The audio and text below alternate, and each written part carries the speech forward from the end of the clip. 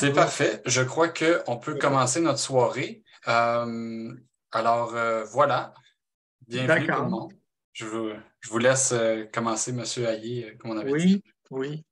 Alors, euh, bonjour tout le monde. Euh, bienvenue euh, à cette conférence virtuelle de Québec Meilleure Mine sur les enjeux miniers au Bas-Saint-Laurent et en Gaspésie. mon nom est Guy et je suis du groupe environnemental Univers de la région de Matane.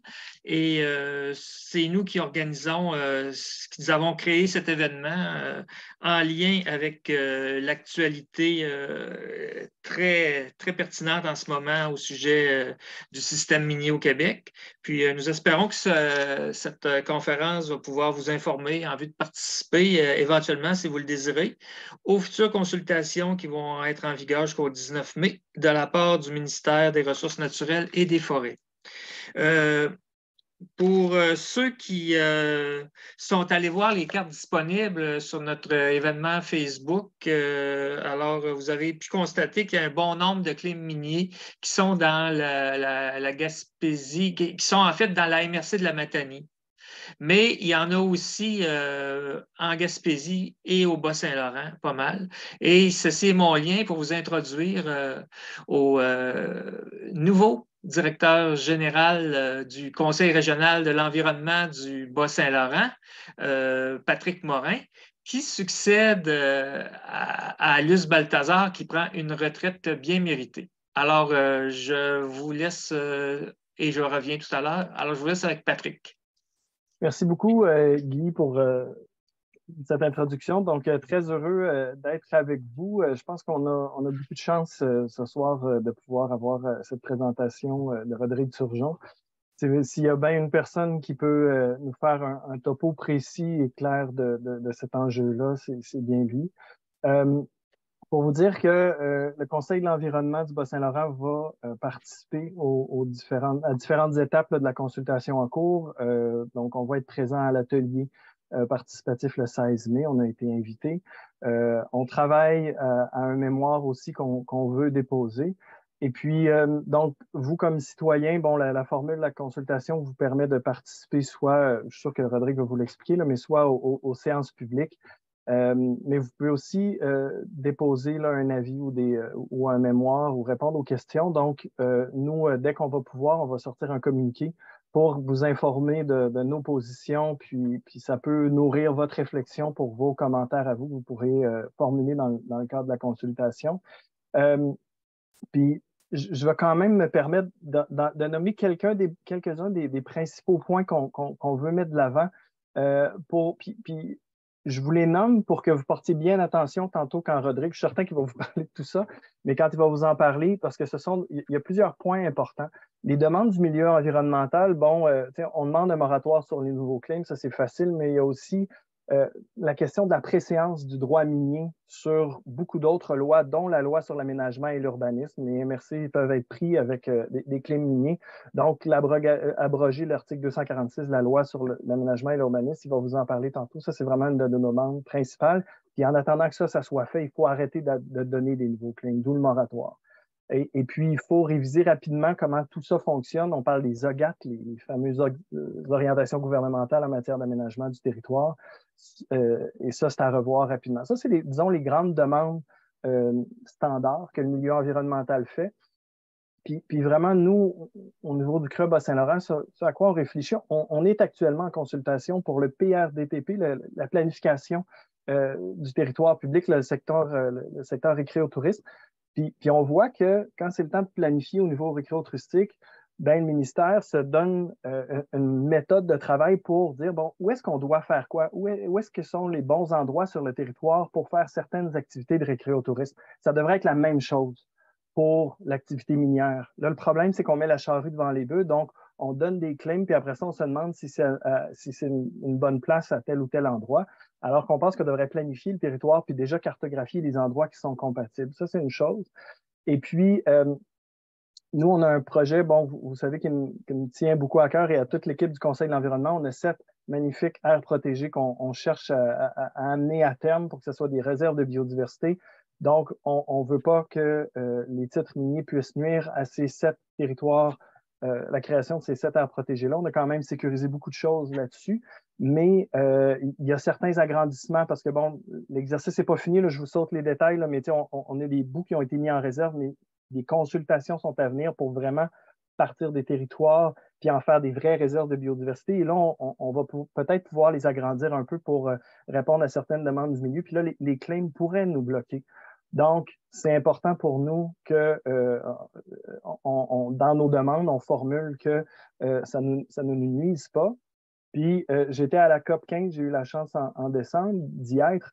Puis euh, on a bien vu que le Québec a pris un engagement pour protéger 30% de son territoire. Bien, les claims vont, vont être des bâtons dans nos roues pour choisir quels devraient être ces, territoires-là qui vont s'ajouter à la conservation, dont Bas-Saint-Laurent. Puis on, passe beaucoup à de la connectivité. Donc, relier les sept, les sept aires protégées, j'ai souvent dit que ce serait l'épine dorsale du réseau d'aires protégées avec bon, le parc de la Gaspésie, parc du Vic, parc du Témiscouata, avec les réserves de biodiversité. Si on ajoute ces sept-là, Ensuite, faut les, on a besoin de connectivité écologique. Mais si on a des clés miniers un peu partout, ça va nous bloquer dans ce processus-là.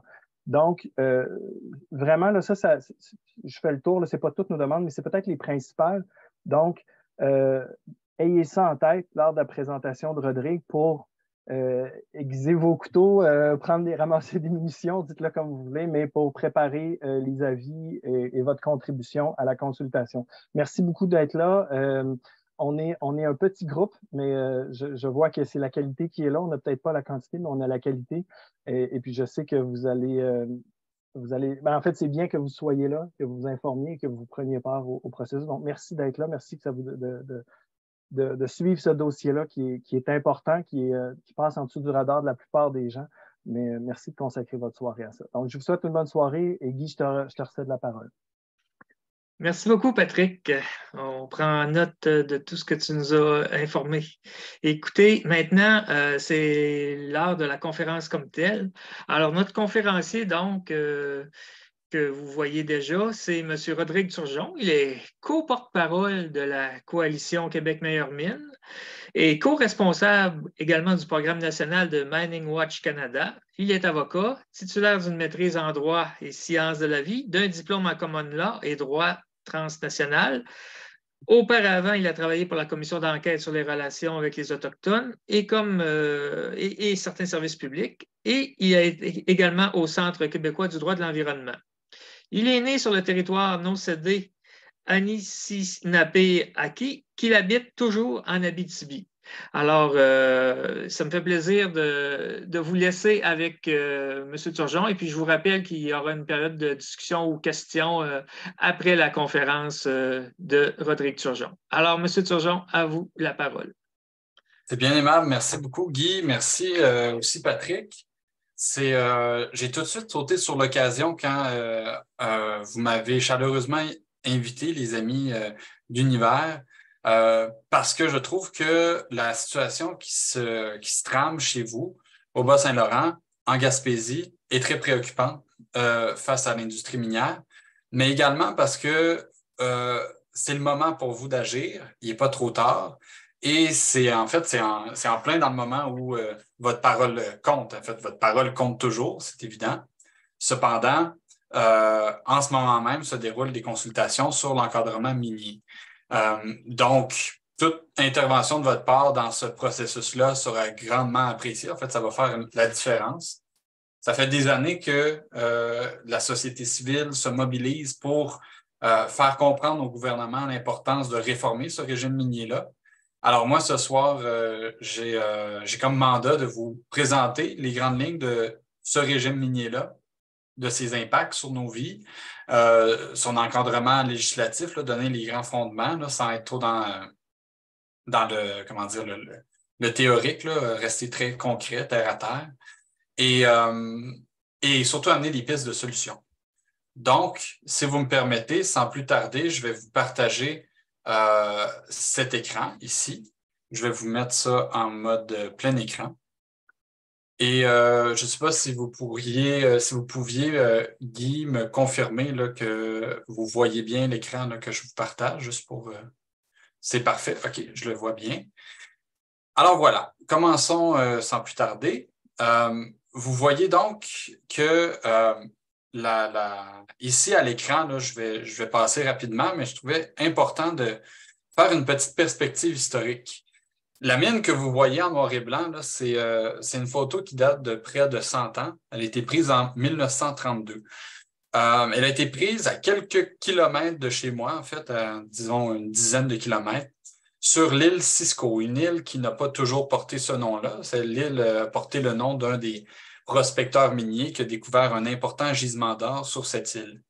Cette île se trouve euh, sur euh, le lac qu'on a appelé de Montigny, mais qui, en fait, est la, tête du réseau hydrographique du bassin versant du fleuve Arikana.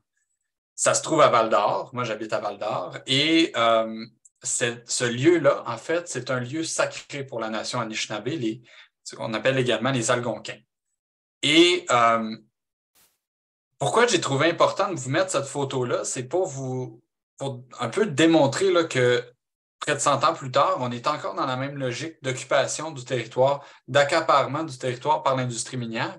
Parce que ce lieu-là, ce lieu sacré-là, c'était pour la nation Anishinaabe, à l'époque, un lieu de célébration annuel. L'été, on, célébrait des mariages.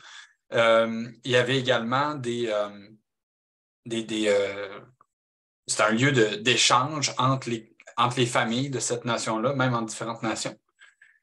Parce qu'elle se situe au sommet du bassin versant, mais la particularité de ce lieu-là, c'est que sur les rives du lac, ont été orpaillés, donc trouvés euh, euh, à, la, à, la, main, chaudière, euh, des véritables pépites d'or par des prospecteurs miniers à cette époque-là.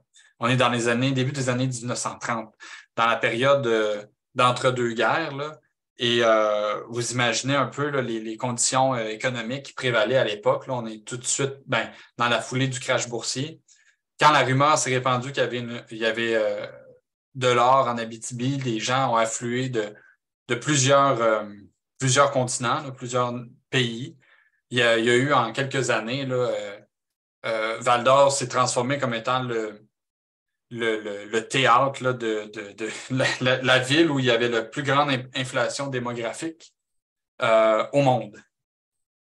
Donc, vous allez me dire ben, pourquoi qu'on parle de cette histoire-là? Ben, c'est pour vous un peu démontrer qu'est-ce qui peut se produire quand euh, le marché, donc euh, économique, euh, fait en sorte qu'il y a un attrait pour certains, certaines substances minérales, pour certaines ressources naturelles, et que les lois du pays hôte, comme le Québec en l'occurrence, ne sont pas construites de manière à régir ces phénomènes-là.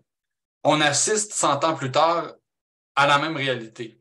Euh, on reviendra euh, aux causes du boom minier actuel. Je ne vais pas vendre la mèche, mais c'est juste pour garder en tête que ce phénomène-là n'est pas nouveau et qui peut se traduire par des tragédies euh, culturelles, coloniales et, vraiment une dépossession des territoires occupés par les gens présents. On ne reviendra pas 100 ans en arrière, évidemment, mais quand même, chez vous, au Bas-Saint-Laurent, en Gaspésie, il y a un phénomène semblable qui s'opère de manière numérique, informatique. Euh, l'octroi des claims, c'est peut-être un peu différent qu'à cette époque-là, mais tout de même, l'importance des droits qui sont concédés aux compagnies, aux, explorateurs, sont tout aussi grands. Donc, euh, poursuivons. Avec, c'est ça, le plan de la présentation, euh, ça, va quand même être assez droit au but là, pour vous. Je l'espère. Euh, on va accorder une bonne partie de la présentation à la réalité euh, euh, minière qui vous occupe chez vous en Gaspésie, au Bas-Saint-Laurent. Je vais prendre le temps de vous, indiquer comment vous pouvez contribuer à cette consultation sur l'encadrement minier. mais d'abord, je croyais important de, de, rapidement arriver avec un certain éclairage historique. Je l'ai un peu amorcé avec cette photo qui, date d'un siècle. Mais il faut remonter beaucoup plus loin que ça pour voir les premiers euh, Européens débarquer au pays euh, avec cette, euh, cette, visée vers l'exploitation des, des, ressources minérales. Donc, vous avez ici un extrait du journal de voyage de Samuel de Champlain, un explorateur français que vous connaissez sûrement. Euh, on est en 1609, donc il y a plus de 400 ans de ça. et on voit bien le mot à retenir peut-être sur ce, sur, sur ce passage de son, de son livre, de, de, son journal de voyage. C'est le mot surligné en rouge. leur pays. Donc, il y avait une certaine reconnaissance, là, de, tout le moins de la part de Samuel de Champlain, que, ce pays était occupé par des nations autochtones. Mais on, lit là, dans les mots suivants qu'il y avait un objectif à l'occupation de ce, nouveau continent, ce nouveau monde, cette nouvelle France, je dis bien dans les yeux des explorateurs coloniaux, là, euh, qui avait euh, possibilité peut-être de s'enrichir euh, à travers l'exploitation minière. On voit ici qu'il y avait l'espoir d'exploiter des mines de cuivre. Mais cette, euh, cette, euh, percée finalement dans le territoire, dans le nouveau continent, ne s'est pas faite sans perturbation et, et les législateurs, pour arriver à leur fin, ont véritablement inscrit dans les lois inscrit, le mot est peut-être faible, c'est enraciné euh, deux principes très importants qui euh, sont importants à, garder en tête et, il nous faut euh, les mettre sur la table dès le début, puisque ces principes-là, finalement, expliquent en bonne partie comment actuellement on se retrouve avec un phénomène de ruée vers les métaux, encore de nos jours, un boom minier. Donc, ce premier euh, principe-là euh, que vous voyez à l'écran, c'est la domanialité. C'est peut-être un terme que vous n'avez jamais entendu parler. Moi, il a fallu que je fasse un, essai de maîtrise pour m'y plonger, donc je vous épargne ça. Euh, et ça consiste finalement dans l'idée que les ressources minérales, le sous-sol, appartient à l'État.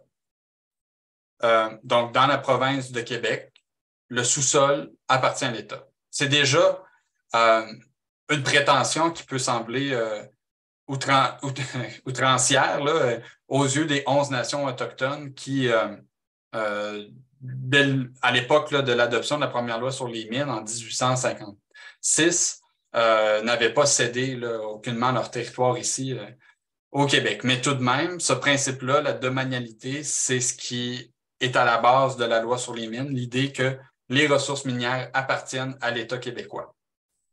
Euh, donc, ça s'est fait, euh, finalement, ça s'est inscrit, ça a été adopté par l'Assemblée législative euh, du Bas-Canada. On était avant la, Confédération, la première loi constitutionnelle de 1867, donc une décennie auparavant. Le législateur québécois a adopté une loi qui disait le sous-sol appartient à l'État québécois et non pas aux nations autochtones. Et ça, ça c'est euh, ça, la raison pour laquelle on arrivait avec cette, euh, cette affirmation-là, c'était pour ensuite venir régir le phénomène de l'accaparement des terres par des prospecteurs miniers qui voulaient s'enrichir en extrayant les richesses du sous-sol. Donc, l'État a cherché à affirmer sa souveraineté sur les ressources euh, minérales pour un peu contrôler ce phénomène-là. Mais si on se remet à cette époque-là, je vous ai mis la, je vous ai, nommé la date, là, 1856, la première loi sur les mines au Québec. Euh, elle visait à régir un phénomène très précis, très important. C'était une véritable ruée vers l'or sur les rives de la rivière Chaudière, pas, pas très loin de chez vous, euh, dans la Beauce actuelle. Et euh, il y avait cette rumeur qui courait à l'époque qu'il y avait de l'or sur les berges de la rivière Chaudière. Donc, le législateur euh, été un peu pris court et a dû adopter cette loi-là, avec le principe que je viens de vous nommer, de dire que non, les ressources n'appartiennent pas aux prospecteurs, elles appartiennent à l'État, a priori du moins. Et pour régir ensuite les conflits qui pouvaient survenir entre les prospecteurs, ils pouvaient dire ben ça c'est ma pépite, non c'est la mienne parce que j'étais j'habite le terrain, je suis propriétaire d'un lot, je suis un agriculteur, donc c'est sur mon terrain, la pépite devrait m'appartenir. Et, euh, et, par exemple, un autre voisin qui pourrait contester ça en disant ben, c'est le prolongement d'un gisement qui, qui, est chez moi. Fait on voit ces conflits-là survenir dans nos têtes. On se remet à l'époque où l'État euh, était beaucoup moins puissant, disons qu'à cette époque-ci, c'était avant la Révolution tranquille. Euh, donc, le, le législateur s'est dit qu'il faut qu'on adopte une loi pour encadrer ces conflits-là entre les prospecteurs. Il ne s'est pas dit on va adopter une loi pour arriver avec un principe de justice envers les peuples autochtones qui, qui occupent ces territoires-là. C'était vraiment pour régler les chicanes entre les prospecteurs. Et qu'est-ce que le législateur québécois a fait à cette époque, en 1856? Il s'est inspiré, en fait, il a copié la méthode des autres États qui avaient adopté de telles lois sur les mines auparavant. Et donc, on peut faire un lien direct entre la première loi sur les mines québécoises en 1856 et les lois qui ont tenté de régir le phénomène de la ruée vers l'or beaucoup plus mythique qu'on a, euh, qu'on a vu, euh, en fait, prendre d'assaut la Californie dans les années 1820.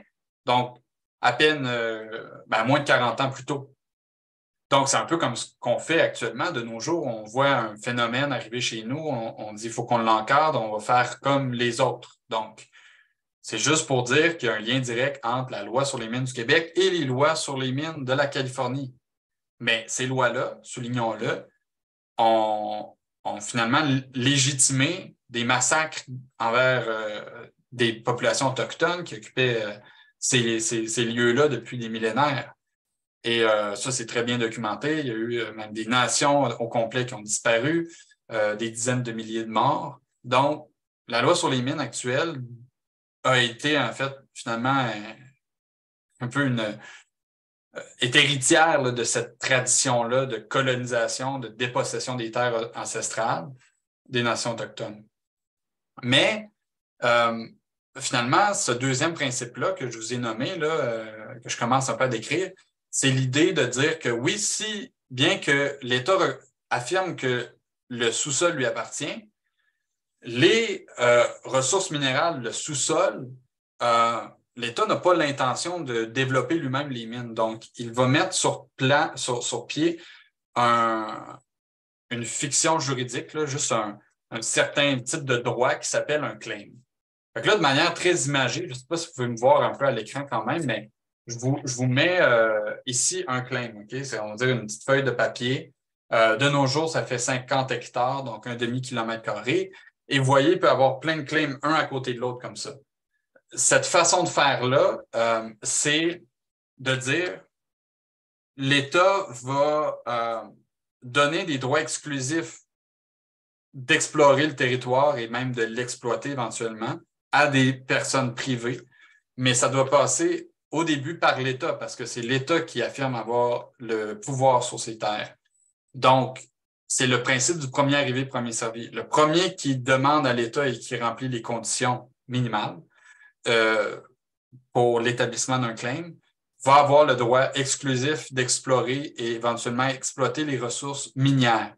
Donc, pour reprendre la situation tout à l'heure, s'il y avait par exemple un explorateur qui disait Ah, j'ai trouvé une pépite d'or euh, sur, euh, sur euh, un terrain, mais même s'il est propriétaire de ce terrain, même si c'est sur sa ferme, il pourrait ne pas pouvoir exploiter cette ressource-là si un autre individu a acquis un titre d'exploration exclusif sur son, sur son propre terrain, un claim. Et c'est ce principe qui prévaut encore de nos jours. Donc, je voulais un peu faire ce préambule historique-là, mais parce que ça, ça n'a pas changé depuis. Malgré de multiples tentatives, ça reste quand même ce qui est présent chez nous. Bon, une fois que c'est dit, euh, encore une fois, euh, ce préambule historique mérite une certaine reconnaissance, une importante reconnaissance envers les nations autochtones, parce que même au siècle dernier, je vous ai montré une photo près de chez nous, en première diapositive, mais ce, ce territoire-là était, euh, était occupé depuis des millénaires par des nations autochtones qui connaissaient la présence de différents gisements, même s'il n'y avait pas les méthodes euh, technologiques actuelles, c'est évident. Mais ils savaient où se trouvaient certains gisements intéressants. C'est juste que ces nations-là n'y voyaient pas d'intérêt euh, économique à développer toute une, toute une économie sur euh, l'extraction de métaux. Donc, vous avez à l'écran Mathieu André, un Inou, qui a été en fait le,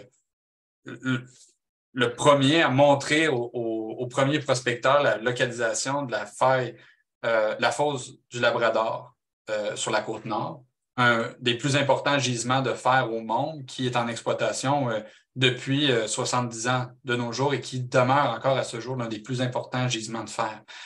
un des premiers découvreurs, finalement, celui qui a montré l'emplacement de ce gisement-là, est un Inou.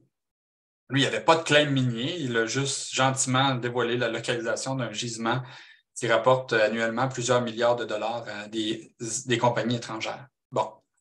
À la droite de l'écran, un peu la même histoire. Gabriel Commanda, Anishinaabe, dans, au même tournant du siècle dernier, euh, qui a montré à des explorateurs miniers la localisation de la faille de Cadillac, un des plus importants gisements d'or au monde, toujours en activité aujourd'hui avec euh, plus de 5 mines actives et plusieurs projets en cours ici en Abitibi-Témiscamingue. En fait, plus en Abitibi côté Témiscamingue, mais bon. Et là, vous voyez quand même pointe certaines injustices là, envers les, peuples autochtones. Et, malgré que dans la nouvelle loi constitutionnelle de 1982, il y a un article qui reconnaît euh, les droits euh, ancestraux ou issus de traités et qu'ils doivent finalement donner euh, suite à l'obligation et que de cet article-là découle et de l'honneur de la couronne découle l'obligation constitutionnelle, constitutionnelle de consulter, d'accommoder les peuples autochtones en regard de l'exploitation notamment des ressources minières. On reste encore à ce jour dans, un, dans une loi minière, dans un régime minier au Québec qui ne respecte pas les droits autochtones ancestraux euh, ou issus de traités, qui ne consulte pas les nations autochtones avant l'émission des titres d'exploration minière. C'est ce que je voulais dire par ce préambule-là. Pourquoi je le dis d'emblée? Parce que souvent, on finit par le perdre de vue que les injustices qu'on vit tous à l'égard de l'industrie minière, euh, le fait qu'on ne soit pas consulté avant les claims miniers, avant, avant l'émission des claims miniers. Moi, je crois en fait que cette injustice-là est beaucoup plus grave à l'encontre des peuples autochtones. Euh, mais ce n'est pas pour minimiser l'impact que ça a sur la vie des, euh, des, non-autochtones, mais, mais vous avez des nations qui basent toute leur identité, leur culture, dans leur lien avec le territoire. Ce régime-là d'accaparement des terres est très, finalement, c'est une, c'est un outrage au respect qu'on devrait avoir, on devrait entretenir envers les peuples autochtones. Bon, je souhaitais le mentionner. Vous avez à l'écran plusieurs, euh, ben, en fait, plusieurs lois, il y en a plein d'autres, tant au provincial qu'au fédéral, des lois où, qui visent un peu à régir les activités minières, mais il n'y a rien dans tout ça qui, euh, puis on parle de centaines, voire de milliers de pages cumulées, il n'y a rien qui respecte euh, véritablement les droits ancestraux. Donc, voilà. Nous sommes au mois d'août. Euh, la Coalition Québec Meilleure Mine a participé à un, effort, disons, euh, civil, de la société civile, euh, de faire prendre conscience à l'ensemble de la population du Québec le beau mini qui fait rage dans la province. Donc, on a commencé avec les régions que vous voyez à l'écran, quatre régions, l'Outaouais, l'île les euh, Laurentides, la Nodière et la Mauricie. Donc, ce que vous voyez à l'écran, vous voyez en rouge, ce sont des claims miniers. En vert, ce sont des euh, milieux euh, naturels, donc des parcs nationaux ou des réserves fauniques. Et ça, cette image-là a vraiment choqué le public. Elle s'est même retrouvée, là on est au mois d'août, elle s'est même retrouvée dans le projetée dans le débat des chefs à Radio-Canada. Et, ça a forcé les différents partis politiques à, se prononcer sur comment ils comptaient régir le phénomène que vous voyez à l'écran, cet accaparement des terres euh, néocoloniales euh, euh, en, 2000, en 2023. Donc, dans ces trois régions-là, ça, c'est les données qui datent du mois de janvier. Je n'ai pas eu le temps de les mettre à jour avant de vous parler aujourd'hui. Ça remonte à quelques mois déjà. Il y avait une augmentation de 13% en six mois mais avant ça, depuis euh, deux ans, une augmentation de près de, plus de, de 130% dans ces quatre régions-là cumulées. Dans certaines régions, c'était beaucoup plus important, notamment en Mauricie. Et depuis, le phénomène ne fait que s'accroître. Euh, je poursuis avec l'Estrie en novembre euh, pour vous montrer que il n'y a pas que dans les régions euh, au nord du Saint-Laurent qui sont euh, affectées par ce phénomène-là. Vous voyez une augmentation de 63% euh, depuis les deux dernières années. Et, et là, encore une fois, à l'écran, remarquez bien des aires protégées comme celle ici au sud, près de la frontière, qui sont entourées de claims miniers. Euh, même chose, on a le parc national du Mont Mégantic ici, si je ne me trompe pas. Euh, et, donc, ce sont des milieux qui sont ceinturés de, de. Tout de même, la situation, euh, ben, en fait, pas tout de même, mais à cet endroit-là, les gens n'étaient pas très informés, tant dans les régions touristiques de récréotourisme de villégiature que je vous ai montré à la diapositive précédente ainsi que dans celle-ci, ne peut pas dire que ces cinq régions-là, ce sont des régions réputées pour être des régions dites minières de nos jours. Elles l'ont déjà été à une certaine époque, notamment l'Estrie. Euh, mais présentement, c'est un, phénomène qui était nouveau pour bien des gens. Euh, je reviendrai plus tard sur le fait que les gens ne sont pas consultés là, euh, avant l'émission des claims et pourquoi? Mais je croyais important quand même dès le départ de vous montrer ça à l'écran. On arrive chez vous. En novembre 2022, encore une fois, la coalition Québec-Meilleure en fait, au même moment, on a dévoilé cette carte-là euh, de la présence des claims chez vous. Euh, donc, vous en, avez euh, à la fois au Bas-Saint-Laurent comme en Gaspésie. On va avoir une, lecture plus détaillée, un zoom finalement sur ces différentes régions-là. Mais le portrait d'ensemble, on voit une augmentation depuis deux ans. Là, on est en novembre, de novembre 2020 à novembre 2022, plus de 125% d'augmentation. Près de 6 000 titres miniers. Il n'y a pas de, de mine à, ciel ouvert en activité, il n'y a pas de mine en activité dans ces deux régions-là, mais vous voyez que l'industrie minière au stade de l'exploration est très présente. On a lancé cette, euh, cette, euh, ces, deux euh, cartes-là, finalement, quelques jours avant le congrès Québec Mine plus Énergie qui se tient annuellement au mois de novembre. Et c'est finalement c'est un rendez-vous principalement dédié à l'industrie minière, euh, mais auquel la coalition Québec-Mer Mine est conviée annuellement à rencontrer la ministre euh, des Ressources naturelles. Donc, on avait préparé avec des gens des différentes régions euh, cette, cette sortie-là pour montrer qu'il y avait urgence d'agir pour encadrer le phénomène de, de ce boom minier-là. J'arriverai bientôt avec les causes de qu'est-ce qui peut expliquer finalement ce boom minier-là. mais tout de suite, euh, allons voir finalement euh, une, certaine lecture plus détaillée de ce qu'on peut voir dans vos deux régions. Euh, Gaspésie, Bas-Saint-Laurent, on est encore en novembre 2022. Comme je disais, on n'a pas eu le temps de mettre à jour les données depuis. Mais ce que vous voyez à l'écran, c'est la même carte que précédemment, les claims, les milieux naturels valorisés, mais avec un, peu, là, là c'est la, principalement des encadrés où vous voyez euh, les différents euh, milieux naturels d'intérêt. On voit, on reconnaît le parc national du Bic, le parc national de la Gaspésie, les principaux que tout le monde connaît, mais euh, on voit qu'il y a une présence importante de, de, claims autour de ces, de ces milieux-là naturels. c'est vrai aussi dans la, dans la, dans la Matanie, euh, d'où euh, vous, vous me conviez en ce moment, on va dire que où je me trouve euh, au moment actuel.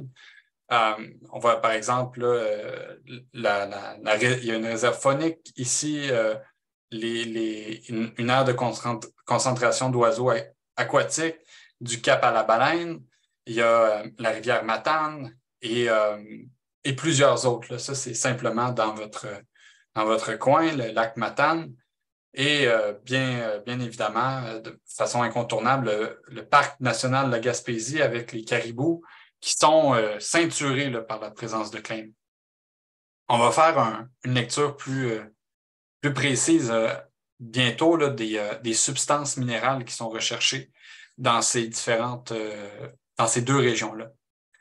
Commençons par le Bas-Saint-Laurent de manière plus précise, parce que la question se pose, on pourrait se demander qu'est-ce que ces gens-là viennent chercher? Et ce n'est pas évident de répondre à cette question-là parce que les données qui sont mises en ligne par le ministère ne sont pas euh, finalement très limpides. C'est difficile, c'est long, c'est fastidieux pour nous de mener ces, recherches-là parce qu'il faut aller faut essentiellement aller voir claim par claim. Et là, vous avez vu, il y en a 6000 euh, dans ces deux régions-là. Euh, qui sont ces compagnies? Et suite à ça, il faut mener des recherches sur Internet, se renseigner qu'est-ce que ces compagnies-là recherchent.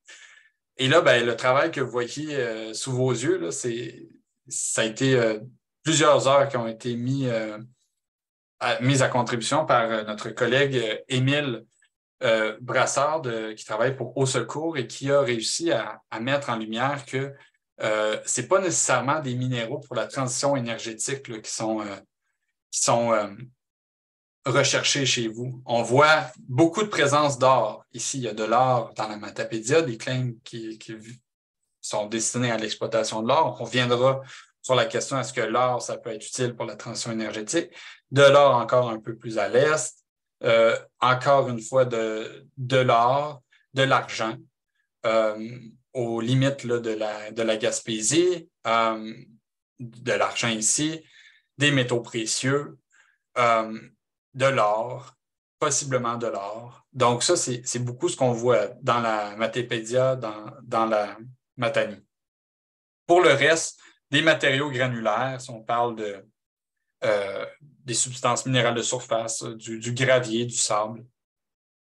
Euh, mais euh, voilà, fait il y a du quartz également. Quelques minéraux qui peuvent être considérés comme critiques ou stratégiques.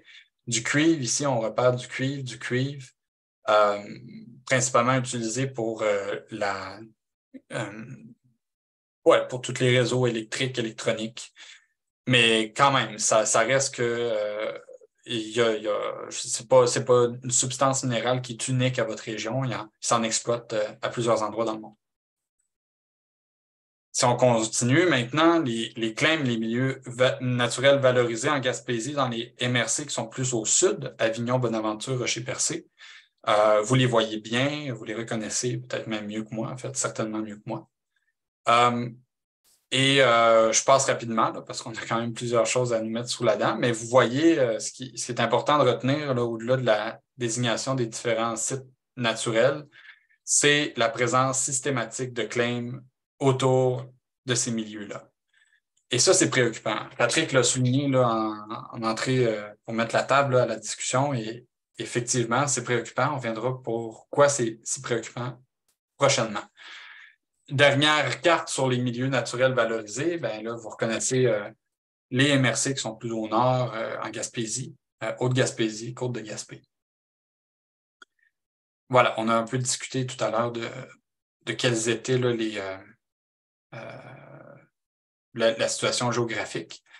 Et pour ce qui est des substances minérales recherchées maintenant en Gaspésie, on voit encore beaucoup d'or, de l'or, de l'or, de l'or. Bon, euh, quand même une présence importante, il faut reconnaître, de lithium un petit peu là, au sud du parc national de la Gaspésie. C'est le seul endroit en passant dans, votre, dans vos deux régions qu'on a relevé de la présence de compagnies qui souhaitent exploiter du lithium. Pour le reste, c'est du cuivre, du cuivre, du cuivre, du cuivre. encore du cuivre ici, du cuivre. Euh, et euh, ça ressemble à ça. Donc, un portrait peut-être en Gaspésie qui est un peu plus nuancé entre or et cuivre, mais soulignons-le, euh, la majorité des mines mines d'or voient également du, cuivre être exploité à, proximité. Et souvent, la rentabilité des mines d'or est plus grande que pour les mines de cuivre. donc, ce qui peut faire la différence là, pour la rentabilité d'un projet, c'est s'il euh, y a la présence des deux métaux plutôt qu'un seul. Je vous disais précédemment, ça, a été euh, un peu ce qu'on a mis sur la table euh, juste avant notre rencontre avec la ministre des Mines. Ça, c'était à Québec au mois de novembre dernier. À l'écran ici, Émile à, votre gauche, qui a contribué à faire cette recherche que je vous parlais. Alice de la SNAP Québec, Louis Saint-Hilaire, qui est le porte-parole de la coalition Claim, et on a Steve Mathias et Betty Pienne, qui sont deux représentantes et représentants de la Première Nation de Long Point, qui ont fait le voyage depuis le Témiscamingue pour rencontrer la ministre. Et là, ben, la ministre n'a pas agi. Là. On, s'attendait à certainement une, une, réponse plus rapide. On avait demandé qu'elle mette en place un moratoire pour freiner ce, cet emballement là, du, euh, dans, dans, dans, dans l'ensemble de la province, puisque là, je suis déjà rendu à la, euh, à la neuvième région qu'on vous présente à l'écran.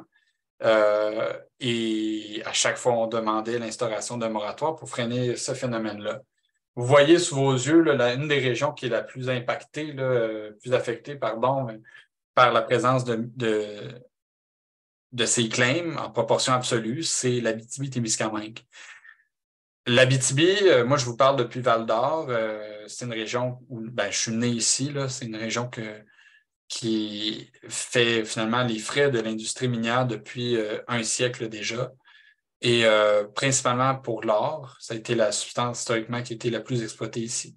Mais euh, récemment, il y a également eu un emballement vers le lithium dans cette région-ci. Et vous voyez finalement jusqu'où ça peut mener là, cette, euh, cette folie là, de, de, de l'appropriation du territoire par des, compagnies, des compagnies d'exploration minière. Ça, vous avez sous les yeux plus de 43 000 titres miniers euh, le tiers du territoire qui est sous l'emprise de claim, principalement dans, les, euh, dans la partie Abitibi du, du, territoire. Vous voyez, la, ligne entre l'Abitibi et le Témiscamingue est à peu près ici. Et, et on peut certainement affirmer que la, la partie Abitibi là, est claimée à près de 50 de, son, sa superficie. Euh, les milieux naturels euh, qui existent, les aires protégées, sont étouffes. Hein. Vous les voyez, elles sont littéralement entourées. On pense au parc national des Guebels ici. Euh, même chose, la réserve de Chicobi, la moraine d'Arcana. C'est une situation qui est, qui est très difficile pour les milieux naturels. D'où la raison pour laquelle il faut changer ce régime-là avant que cette situation ne se reproduise dans d'autres régions comme la vôtre. Les causes de ce boom minier-là, on les identifie finalement, euh, il y en a deux principales. La, première euh, porte sur l'emballement vers les minéraux critiques et stratégiques. Il y a un plan qui a été adopté de valorisation de ces minéraux-là en 2020. Mais ce n'est pas le plan nécessairement du gouvernement québécois à lui seul qui peut expliquer cet emballement-là, parce que au final, ce qui fait la différence, c'est le prix des métaux sur les marchés. Les, euh, explorateurs miniers ne sont pas nécessairement là, en fait, ne sont pas là pour faire la charité euh, climatique ou euh, pour la biodiversité, ils sont, sont, là pour maximiser un rendement financier. Donc, quand les prix des métaux sur les marchés sont, sont, au plus haut, on va, on, va, on va voir, il y a un effet direct dans, dans l'obtention de claims. En ce moment, avec les incertitudes liées à, la, à, la, pandémie, à la guerre en Ukraine, il y a eu un mouvement là, chez, euh, sur la, la, scène financière euh, à se retourner vers des valeurs dites refuges, comme les métaux. Et, ça, ben, conjugué avec euh, cette espèce de, d'hypothèse selon laquelle les minéraux pourraient sauver le climat, ben, ça a mené des gouvernements comme celui du Québec à mettre en place des mesures fiscales, des allègements fiscaux, des subventions très intéressantes euh, pour des compagnies minières qui souhaiteraient euh, développer ce, territoire-là. Donc, vous en avez ici un peu la, la démonstration, le territoire du Québec où il y a plusieurs projets de ces minéraux critiques-là ou stratégiques qui sont développés. Euh, Notez bien cependant que là, on parle de, de, mines, de, mines en activité ou de projets qui sont assez avancés. C'est la raison pour laquelle vous ne voyez pas de, de ces points-là dans votre euh, territoire là, euh, en, au Bas-Saint-Laurent et en Gaspésie. Et c'est pourquoi il faut mener des travaux euh, de recherche un peu plus poussés comme ceux qu'Émile a fait pour en avoir le cœur net. L'autre cause importante de cette ruée vers les métaux, ça reste la ruée vers l'or. Euh, vous, voyez un petit graphique là, ici au bas de l'écran à droite. Euh, on voit qu'il y a une explosion dans les dernières années de la valeur de l'or sur les marchés internationaux. Et, ça, ça, justifie un peu euh, financièrement, certainement pas au niveau de l'environnement, mais ça justifie la réalisation de projets comme ceux que vous voyez à l'écran, c'est c'est pas tiré d'un autre pays, ça, c'est véritablement c'est la mine canadienne Malartic qui est en Abitibi-Témiscamingue. En fait, de où je me trouve, moi, à Val-d'Or, je peux voir les montagnes de résidus euh, de déchets miniers qui sont accumulés ici à plus de 40 km. En fait, pardon, on va quand même être honnête, là, disons une trentaine de kilomètres. Et euh, pour, pour, pour, donner place à cette mine, peut-être que certains d'entre vous le savez, mais euh, il a fallu raser un quartier au complet, là, parce qu'ici, il y aurait des maisons qui seraient, qui seraient qui serait présente si ça n'avait pas été le cas. ça vous montre un peu jusqu'où peut euh, aller l'industrie minière et le gouvernement pour euh, développer de tels projets. Mais le paradoxe de l'or, c'est que euh, il n'y a pas de hausse au, niveau mondial pour la demande de l'or pour les produits technologiques, y compris pour toutes les, différents différentes applications pour lutter contre l'emballement du climat. Et euh, soulignons-le, il y a seulement 8% de l'or qui est utilisé à des fins technologiques. Le reste, c'est pour des bijoux et pour des lingots, la finance. Donc, on peut quand même affirmer, puis au Québec, l'or est très présent dans l'industrie minière. C'est, euh, bon an, mal an, une mine sur trois, entre une mine sur trois une mine sur quatre, même parfois un peu plus, qui sont des mines d'or en activité. Il y a des mines d'or qui sont en cours d'évaluation, plusieurs projets de mines d'or en cours d'évaluation, pas seulement des mines de lithium, de graphite. Ça représentait euh, euh, récemment, aux dernières nouvelles, euh, quand même plus de 67% des claims au Québec. Ça, c'était avant, vous me direz, l'emballement qu'il y a eu dans, les, dans les huit derniers mois, mais quand même, l'or au Québec, ça reste une des substances minérales qui est la plus recherchée. Voilà. Donc, un minerai finalement qui n'est pas tellement pertinent pour, euh, en fait, qui n'est pas pertinent pour lutter contre la crise climatique. Ça fait partie finalement du, du, paysage minier. C'est ce qui continue d'alimenter l'industrie euh, grandement. À l'échelle de la province, les minéraux critiques et stratégiques la liste, il y a une douzaine de métaux qui sont listés comme, comme tels. Pourtant, il y a simplement trois mines sur 22 en activité qui se qualifient comme des mines de minéraux critiques et stratégiques. Le reste, ce sont des mines principalement, d'or et de fer. Donc, des minéraux qui ne sont pas euh, finalement utiles aux yeux du, gouvernement, à tout le moins, euh, de manière stratégique, critique face à la crise climatique.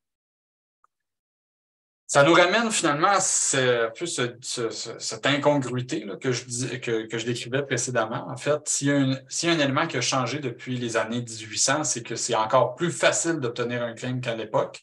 Ça se fait en moins de 30 minutes. On a été généreux, ça peut se faire plus rapidement.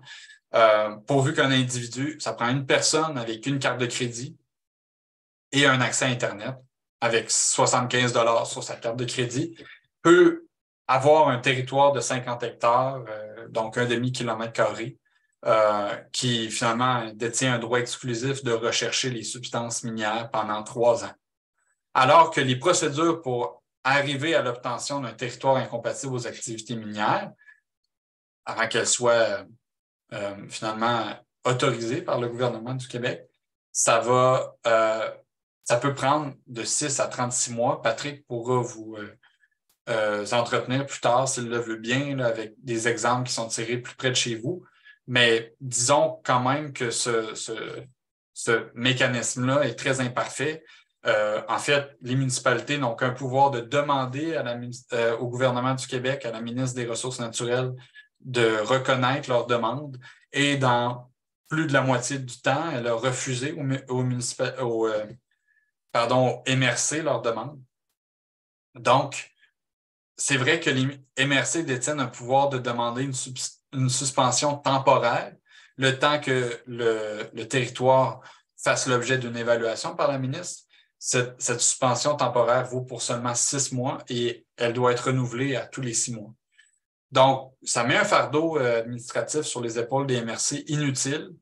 Euh, et euh, on reviendra plus tard aux, solutions qui se présentent pour changer ça. Mais c'est tout de même important de souligner que Ce n'est pas n'importe quel territoire qui peut faire l'objet d'une demande de, de de territoire incompatible aux activités minières. Il y a seulement sept critères qui sont mis de l'avant et ces critères sont assez restrictifs et ils ne s'appliquent surtout pas aux territoires qui sont déjà clémés, donc il y a déjà un claim minier. Également, ne s'applique pas aux milieux naturels, c'est simplement dans les milieux urbains principalement en fait. Mais justement, quels sont les impacts de ces euh, claims miniers-là? Donc, euh, j'ai commencé un peu à l'évoquer. Euh, ça va geler un territoire pendant trois ans et même davantage si la compagnie va renouveler ses droits. ça peut s'échelonner il n'y a pas de limite. Ça peut, il y a des claims qui, ont été octroyés en Abitibi depuis plusieurs décennies, qui ont toujours été renouvelés. Ça nuit forcément à l'aménagement intégré du territoire. Euh, je vois Guy à l'écran en train de prendre des captures d'écran. Je vous rassure, je vais vous transmettre la, diapositive, que vous pourrez, euh, vous pourrez la conserver là, puis la, partager à l'interne. Donc, euh, s'il y en a à la maison, j'aurais dû le mentionner plus tôt. S'il y en a qui faisaient des captures d'écran, ne vous en faites pas. Vous pouvez prendre ça relax. et Patrick l'a mentionné, ça nuit à l'atteinte des cibles de conservation que le gouvernement s'est fixé à la COP 15 parce qu'une fois qu'un claim est émis, c'est impossible de faire un projet d'air protégé. Forcément, ça nuit aux investissements en au tourisme et en villégiature parce que euh, c'est documenté. Il y a plusieurs investisseurs qui disent n'irai pas investir là où il y a une possibilité qu'il euh, y a une mine qui s'établisse ou même qu'il y a des travaux de forage qui viennent perturber la paisibilité, le, caractère paisible d'un lieu. Et on n'insistera jamais assez, là, ça affecte les droits fondamentaux des nations autochtones. Euh, et, même que, bon, je suis passé rapidement tout à l'heure, mais il y a une communauté euh, Anishinaabe au Québec, la Première Nation du lac Barrière, euh, Michikanibikok Inuk, qui poursuit le gouvernement du Québec, le ministre, euh, la ministre des Ressources naturelles, en, alléguant que le régime d'octroi des claims viole les droits ancestraux des peuples autochtones. Donc, c'est pas, euh, je veux dire, c'est réel ce que je, je peux vous mettre de l'avant. Euh, voilà. Et ça, c'est les impacts. J'ai décrit les impacts peut-être plus au niveau euh, de la planification du territoire, mais également concrètement ce que ça peut faire. Les travaux d'exploration minière, vous envoyez certaines images sous vos yeux.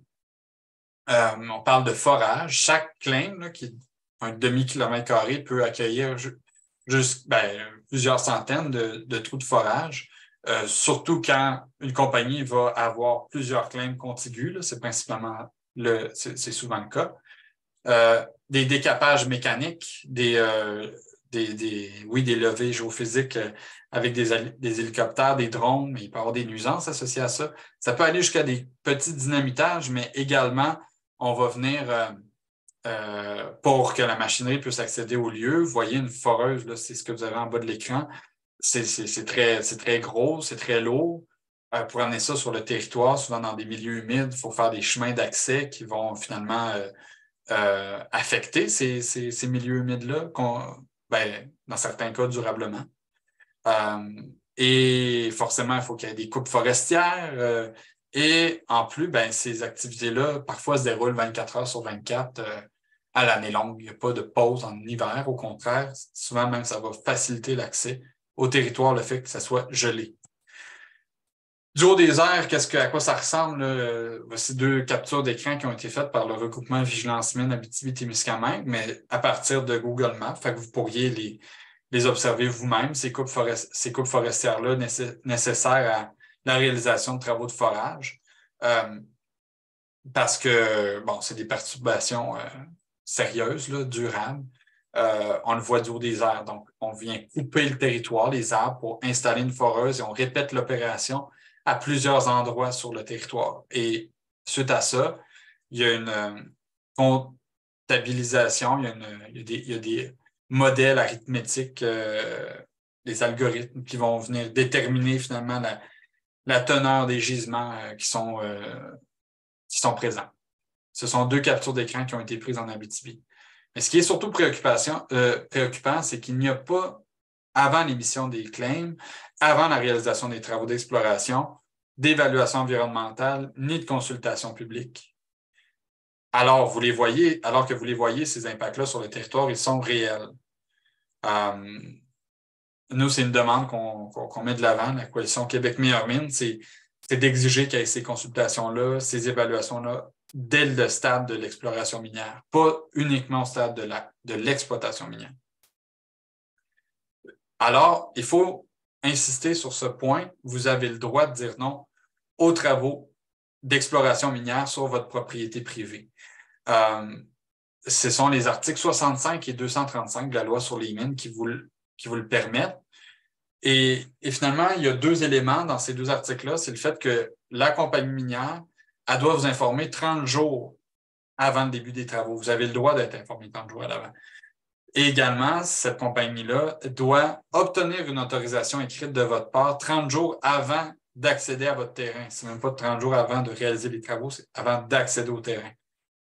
Donc, ce n'est pas écrit dans la loi sur les mines, les propriétaires ont le droit de refuser, mais quand on regarde ça, on voit que vous avez le droit d'être informé et que la compagnie doit avoir votre consentement écrit.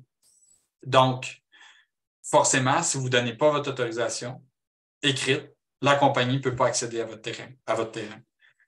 Euh, on a vu plusieurs cas en Abitibi, euh, ailleurs, de compagnies minières qui vont chez les gens et qui ne respectent pas les délais de 30 jours ou même qui vont, euh, ben, en fait, ça c'est très fréquent, qui ne vont pas informer les, propriétaires de leur droit de refus. Ils vont leur dire signez ça. Alors que les gens devraient être informés qu'ils ont le droit de refuser.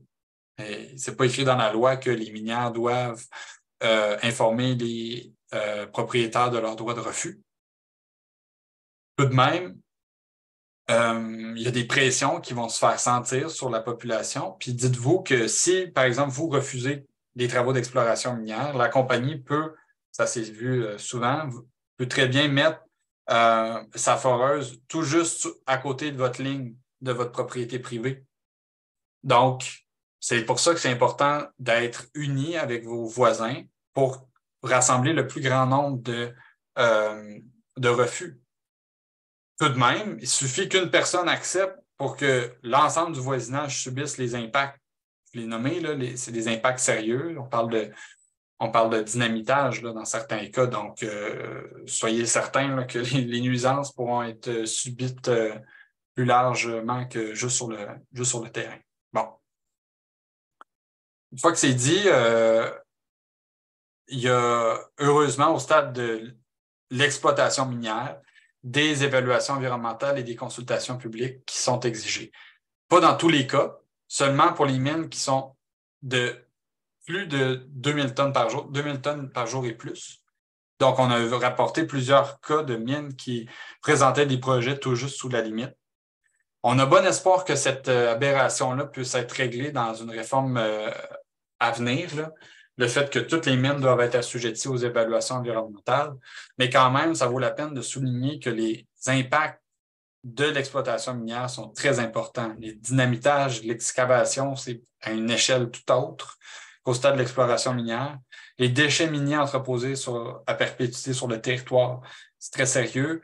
Les risques sur l'eau, c'est en fait euh, autant de surface que de, les eaux souterraines sont importants, sont, sont, critiques, en fait. Toutes les mines constituent des menaces pour l'eau.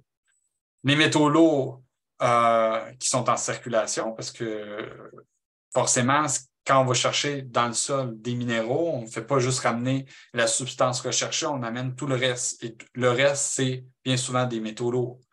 On utilise des produits chimiques très concentrés. Euh, il y a des hydrocarbures qui peuvent s'échapper de la machinerie, comme vous voyez à l'écran, des gros camions.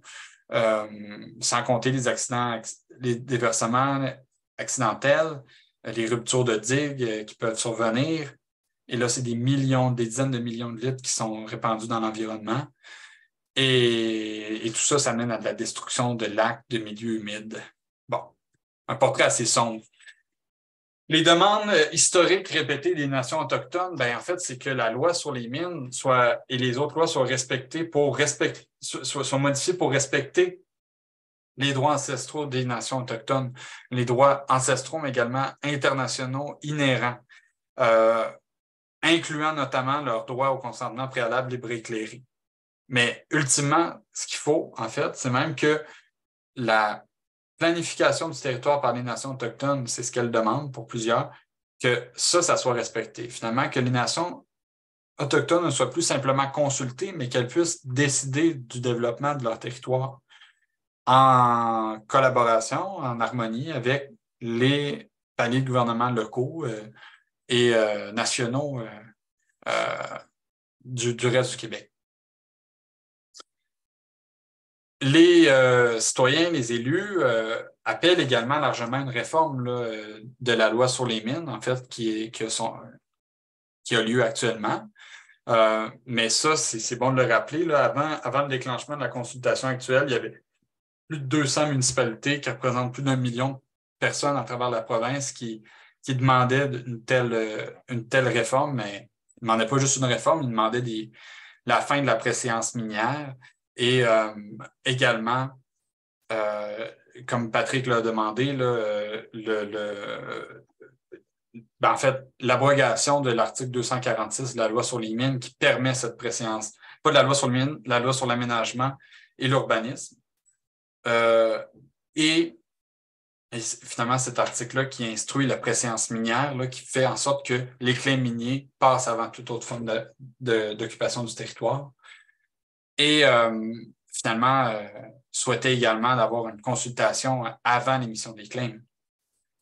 On le voit ici, c'est ces demandes-là qui sont du milieu municipal, c'était de, je l'ai nommé, l'article 246 la LAU, et réviser les orientations gouvernementales en aménagement du territoire. Ça, pour ce deuxième volet-là que vous voyez sous les yeux, euh, peut-être pas dans les détails de ce qui était demandé par les, euh, les municipalités à l'époque, mais la ministre a annoncé une consultation spécifique sur cette question-là, la réforme, la révision des OGAT mines, des OGAT TIAM. Donc, vous aurez l'occasion, dans un prochain temps, dans les prochaines semaines, mois, euh, en mai et juin, de vous prononcer sur qui pourrait être finalement un territoire incompatible aux activités minières. Comptez sur la coalition Québec-Meilleure pour vous soumettre des propositions en ce sens. Ça, c'était les demandes du milieu municipal. Les demandes du milieu environnemental, dont le euh, regroupement national des conseils régionaux de l'environnement, euh, qui comprend le, creux euh, du Bas-Saint-Laurent, euh, Patrick l'a nommé tout à l'heure, c'est d'instaurer un moratoire sur les claims miniers. Pour le reste, ben, ça reprenait sensiblement ce que les municipalités demandaient. Nous, on se démarquait en demandant l'instauration d'un moratoire. Voilà. Fait que c'est ça. Et ces, pressions ont, porté fruit dans une certaine mesure, puisque là, vous voyez la ministre qui est interpellée à l'Assemblée nationale, c'était le 17 mars dernier. Et euh, et, c'est à ce moment-là que, en fait, un mois plus tôt, qu'elle annonçait le lancement de consultations sur l'encadrement minier. On a depuis eu plus de précisions sur ce sur quoi porterait cette consultation-là. Euh, il y a quatre thèmes qui sont mis de l'avant. Je les ai mis à l'écran. On y reviendra plus tard. Donc, euh, ne vous empressez pas de les, noter frénétiquement. on va prendre le temps de regarder pour chacun de ces thèmes-là qu'est-ce qui devrait être modifié. Mais rapidement, euh, le premier thème, c'est l'harmonisation des activités, l'acceptabilité sociale, la prévisibilité. Ensuite, la gouvernance minière, l'encadrement euh, pour la protection de l'environnement et de la santé, les retombées des activités minières. J'aurais peut-être dû l'indiquer à l'écran, mais ce qui est clair à nos yeux en lisant les objectifs de la consultation, c'est que c'est un plan d'addition. on, vise à développer le secteur minier. On ne vise pas à voir comment on peut réduire à la source les activités minières.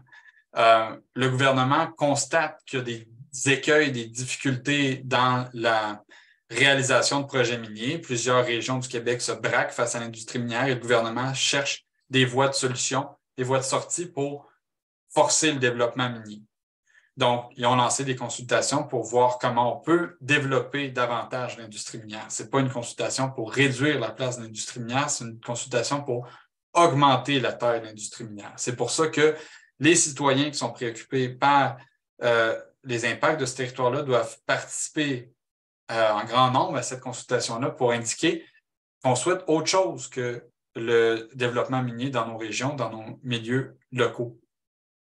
Donc, cette consultation-là ne porte pas seulement sur l'industrie minière, elle porte surtout sur ce que vous voulez faire de votre région. J'ai mis à l'écran euh, les principales dates à, retenir. si euh, vous deviez faire une capture d'écran, ce serait la suivante. Euh, la participation citoyenne se déroule jusqu'au 19 mai. Jusqu'à ce moment-là, vous pouvez déposer des mémoires et répondre à un questionnaire en ligne. Les liens suivront bientôt dans la présentation euh, à laquelle vous assistez en ce moment. Mais également, ce jeudi, euh, le 4 mai, à 18h30, tant au Bas-Saint-Laurent qu'en Gaspésie, il y a une tournée virtuelle des régions. On se parle un peu tard pour vous inscrire. La date limite, c'était hier. Espérons que certains d'entre vous seront présents, mais si vous n'êtes pas présents, sachez qu'il y aura l'occasion de vous reprendre en complétant un questionnaire en ligne ou en déposant un mémoire. Voici donc finalement quelques diapositives de notre cru sur la consultation, sur cette consultation-là. Euh, on ne veut pas vous laisser démunis. Là. On a travaillé à mettre sur pied un modèle de mémoire ainsi qu'un document de préparation que vous pourrez retrouver sur notre site, la Coalition Québec Meilleure Mine, dans les plus récentes actualités. Euh, et euh, voilà, donc euh, ça c'est pour débuter. Et parlant de ce document de préparation-là, ben, nous, c'est ça, consiste en une vingtaine de pages où vous verrez notamment un calendrier de la consultation, qu'est-ce qui s'en vient, les dates, bon, on n'a pas manqué, là, vous les avez déjà prises en note peut-être, mais Ensuite, il y a sur une quinzaine de pages un tableau qui ressemble un peu à ça, les, questions qui sont posées par le gouvernement, puis nos suggestions de réponse.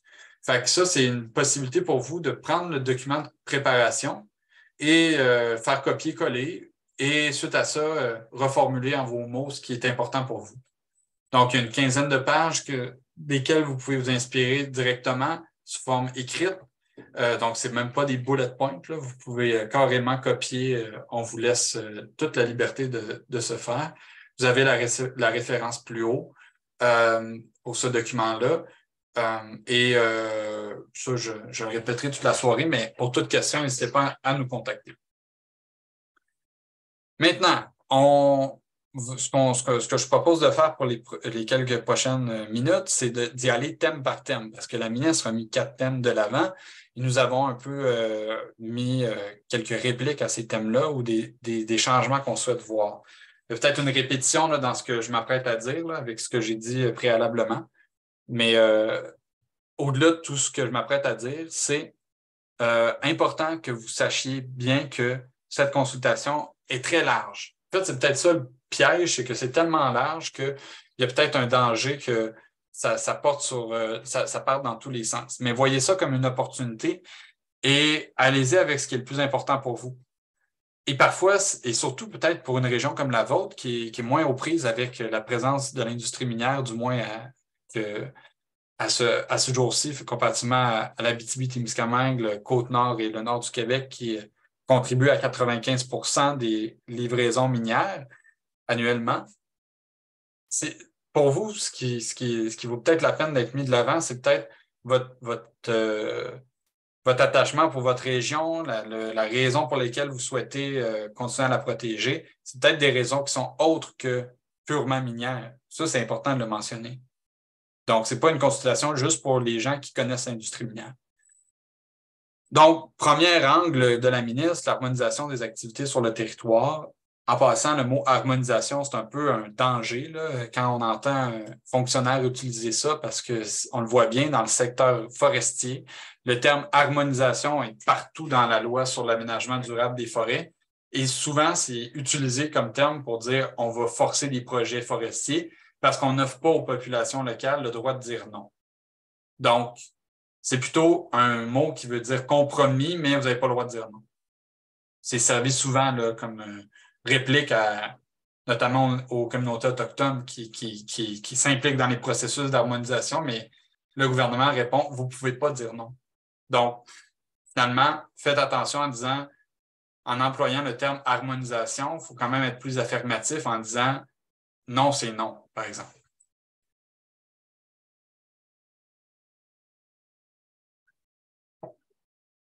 Je me disais, euh, peut-être qu'on pourrait dire harmonisa, non. En tout cas, bon. Il y a aussi euh, l'acceptabilité sociale qu'on entend souvent et blablabla, la prévisibilité de l'activité minière. Bon. Donc, nous, ce qu'on met de l'avant, c'est dans l'encore ici, c'est l'importance de changer les lois pour respecter les droits des 11 nations autochtones abolir la préséance minière. Ça, c'est l'article 246 de la loi sur l'aménagement et l'urbanisme. Et permettre aux populations de décider de l'aménagement de leur territoire, pas juste d'être consultées ou d'avoir leur consentement. Il faudrait que les municipalités, les nations autochtones décident de leur plan de match et que l'industrie les respecte. Et si elle ne s'inclut pas dans ces, plans-là, si elle ne convainc pas les, autorités locales que l'industrie minière pourrait être une, voie intéressante pour le, développement de la région, bien, elle devrait être reconduite à la porte plutôt que de prendre des populations un peu en otage pendant plusieurs euh, années à devoir se battre contre des projets qui ne sont pas euh, souhaitables. Ça devrait être ça au final. Ça devrait être, on, renverse la préséance, fait plus que consulter et consentir.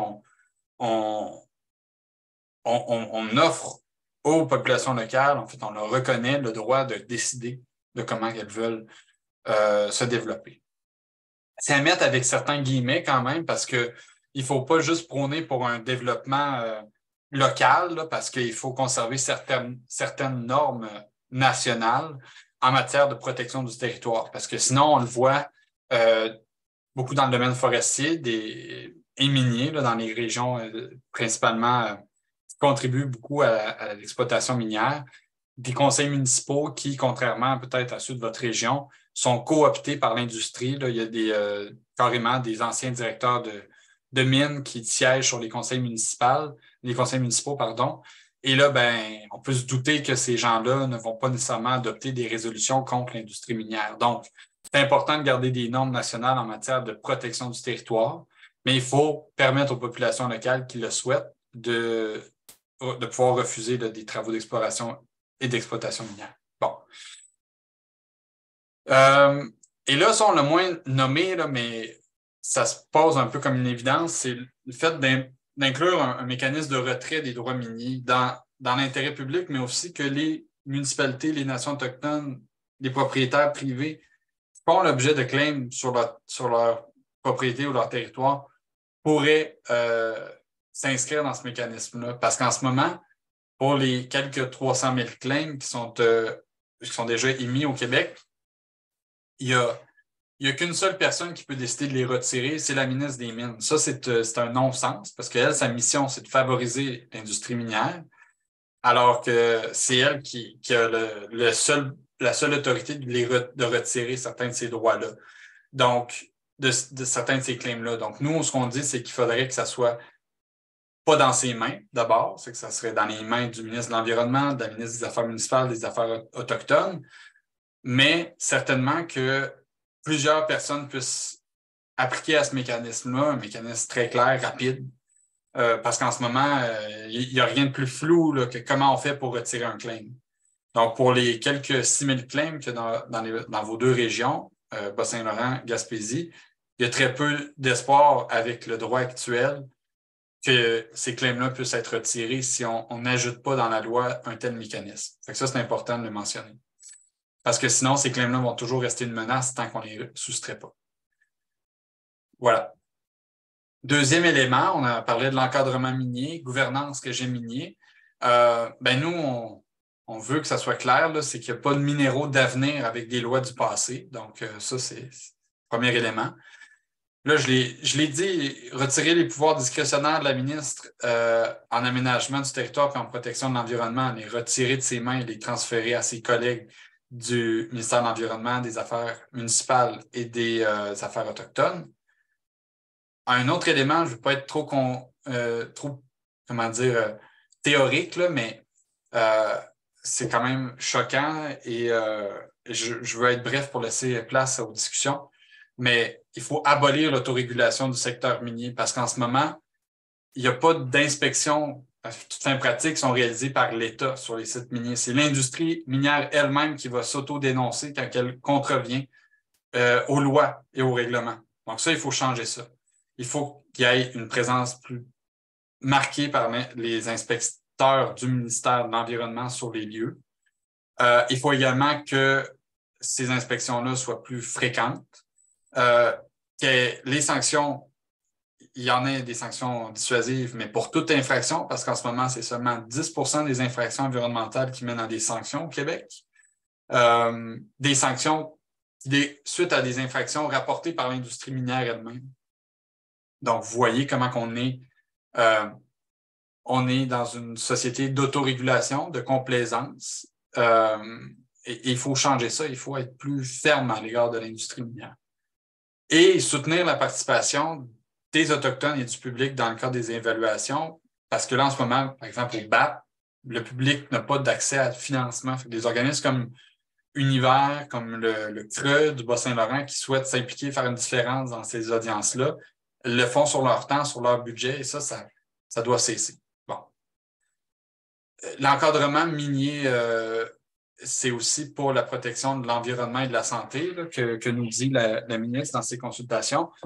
Et, euh, nous, ben, on affirme que les mines vertes et les mines, propres, ça n'existe pas. Donc, ça, c'est un peu ce qui est, mis de l'avant par le gouvernement et l'industrie. On, pense que c'est important de l'affirmer, c'est de dire que ces projets industriels-là ont des impacts sévères sur l'environnement et, pérennes là, pour, à, la perpétuité.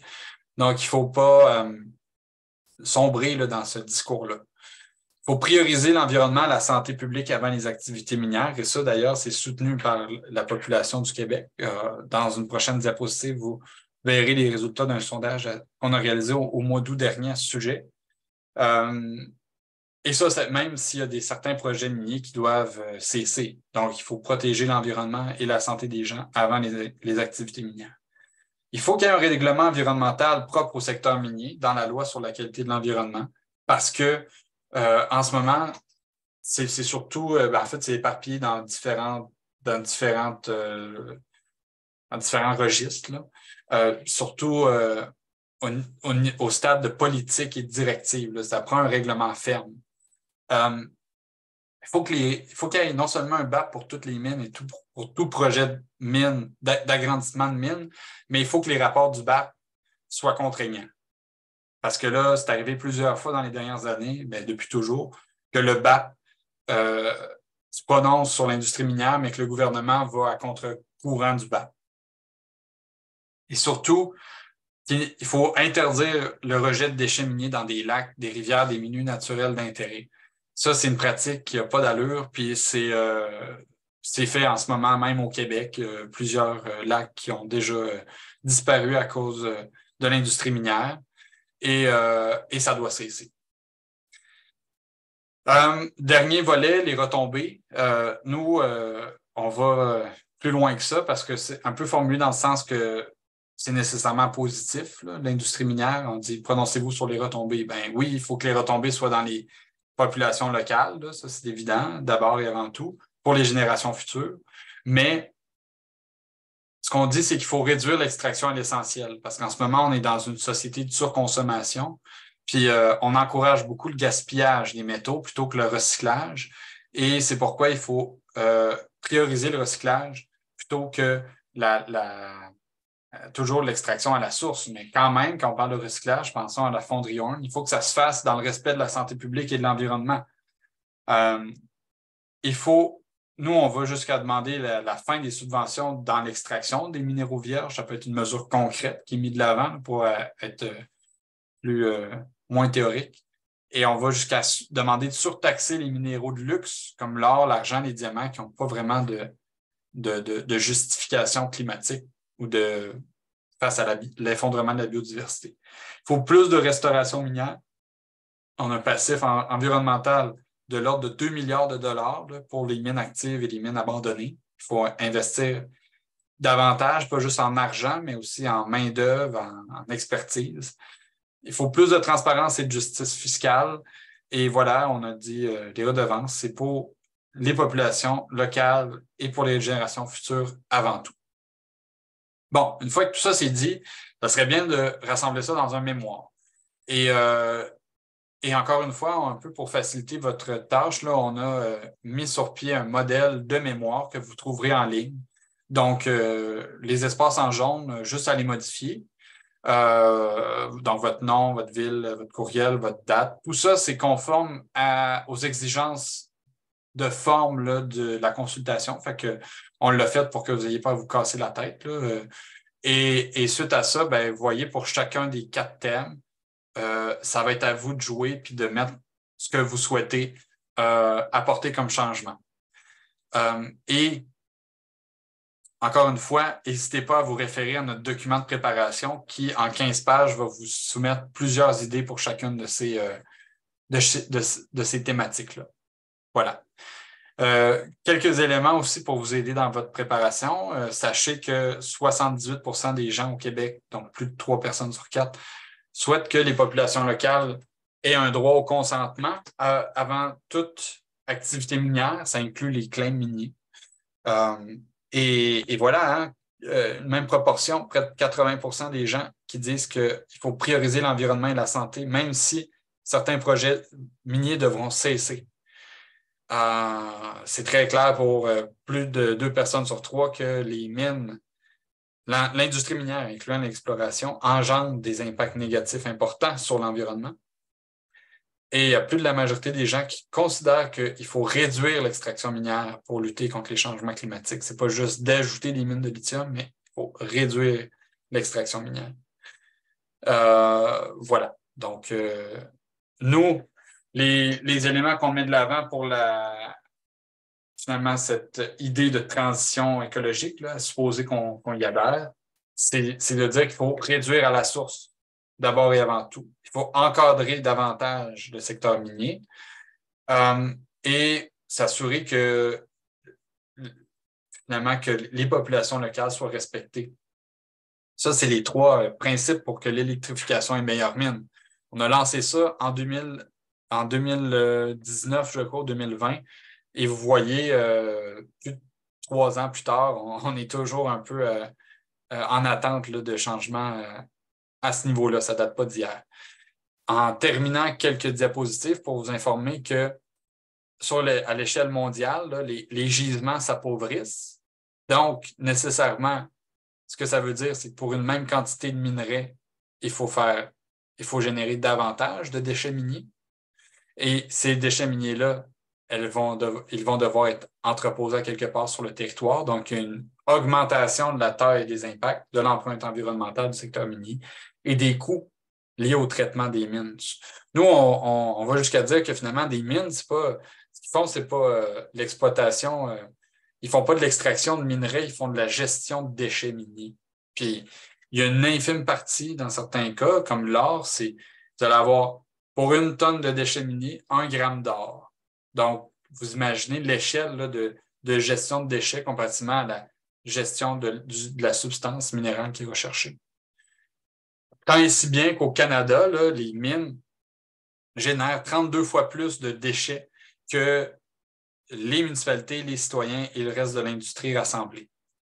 C'est quand même frappant, puis ça, ben, ça, ça, a un coût euh, sur le territoire. Là, euh, un petit rappel peut-être avant de se coucher que les plus riches euh, émettent plus d'émissions que 50% des gens euh, réunis sur la planète. Donc, et ça, ça n'a pas changé depuis très longtemps. Tout l'importance, si on veut agir au niveau minier, c'est de réduire notre consommation de tout métaux dans, la, dans la vie. Ce n'est pas pour dire qu'il faut mettre le fardeau sur l'épaule des gens, quand même en être conscient. Il faut exiger transformation de notre économie pour que nos matériaux soient plus durables et qu'on les, et qu'on les recycle. Bon.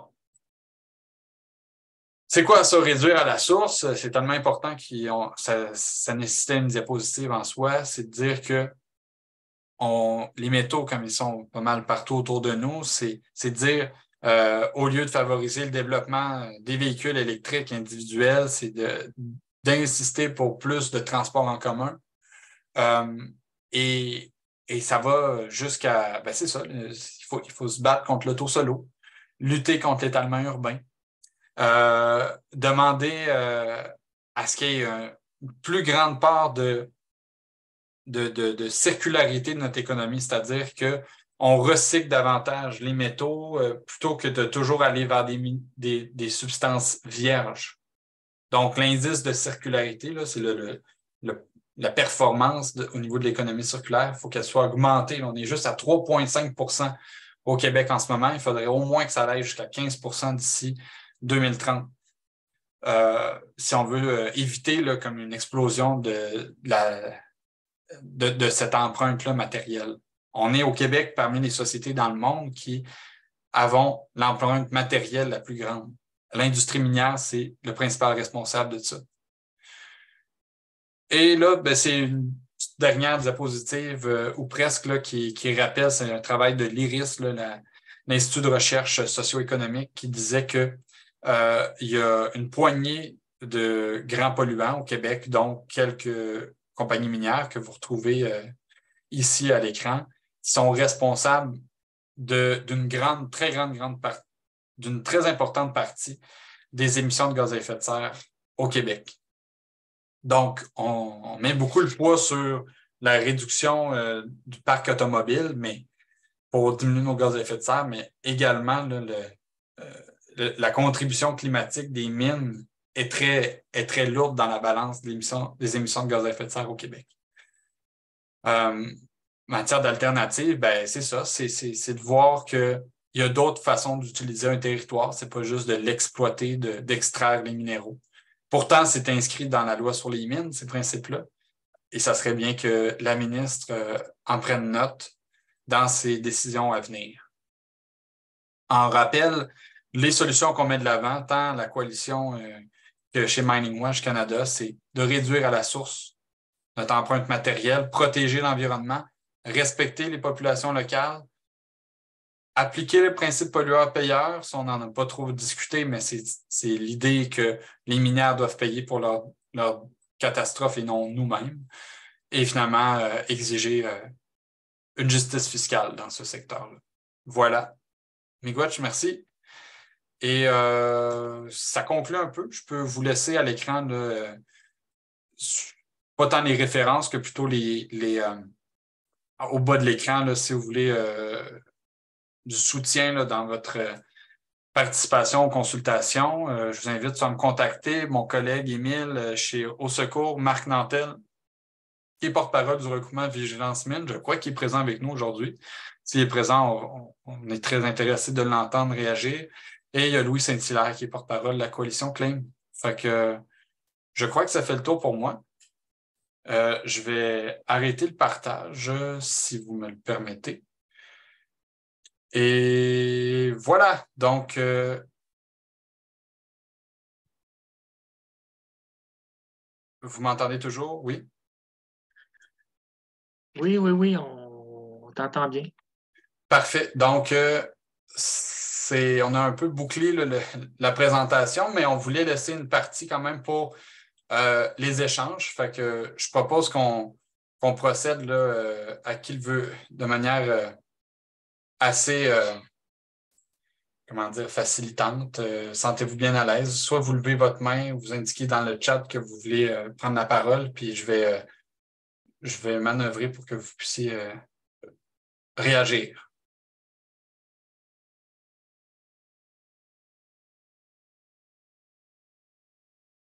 Oui, je vois que mon collègue Marc souhaite parler. Marc, tu devrais être en mesure de d'activer ton micro.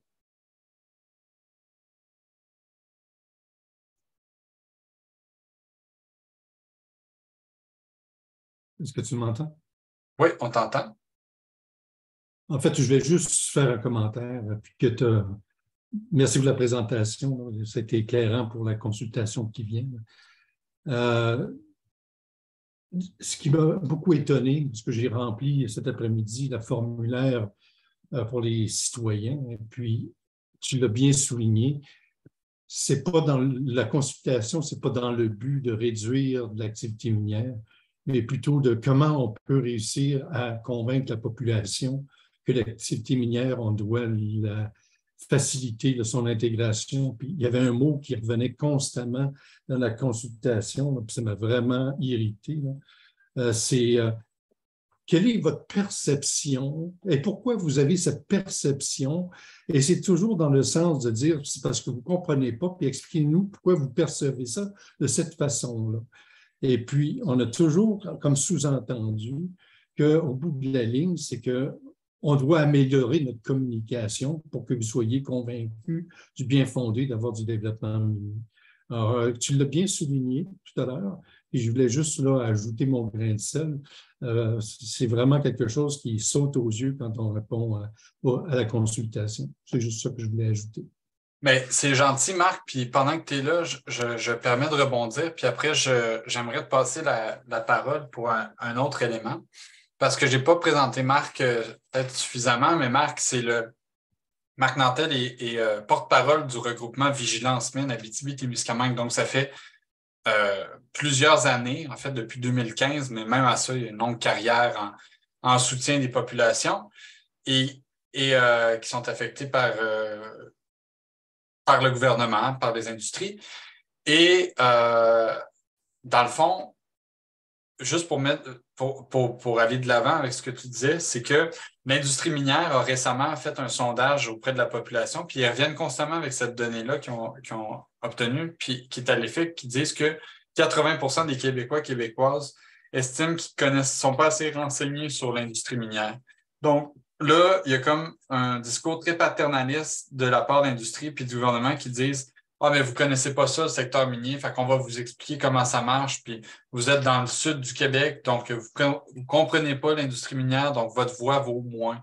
Fait Marc, ce que tu dis, c'est très important parce qu'effectivement, euh, on, sent qu'il y a peut-être un peu un risque que le gouvernement interprète les commentaires qui viennent de régions comme la vôtre comme étant comme moins importants, peut-être, parce que vous ne connaissez pas le secteur minier. C'est pour ça que sentez-vous pas gêné de participer, puis il faut insister sur le fait que vous avez euh, euh, des éléments que vous chérissez dans la nature, dans, votre milieu, puis euh, ça vaut la peine d'être protégé, peu importe votre niveau de compréhension du secteur minier. Patrick, tu veux, interagir, puis après, peut-être, ça, juste, juste souligner, parce que Marc a également une bonne feuille de route en soutien des populations visées. Fait que s'il y a un temps mort après les autres interventions, Marc, je t'invite à, revenir pour, euh, pour donner peut-être des conseils à des gens qui font face à développement, du développement minier près de chez eux. Mais Patrick, oui? Oui, ben, en fait, je voulais rebondir sur ce que, ce que Marc amène. puis je, je, pense que il y a une forme de. Je ferai un parallèle avec euh, comment la discussion a évolué, la maturité de la discussion a évolué dans le secteur forestier.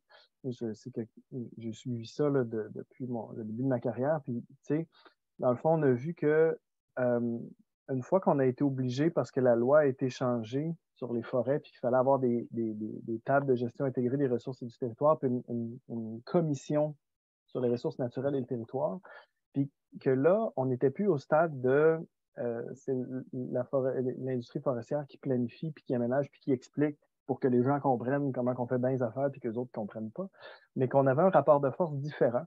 Euh, qui a été, ça a été très bien fait par la, conférence régionale des élus du Bas-Saint-Laurent ici. Puis on avait ce rapport de force-là où est-ce qu'on a pu rééquilibrer les choses.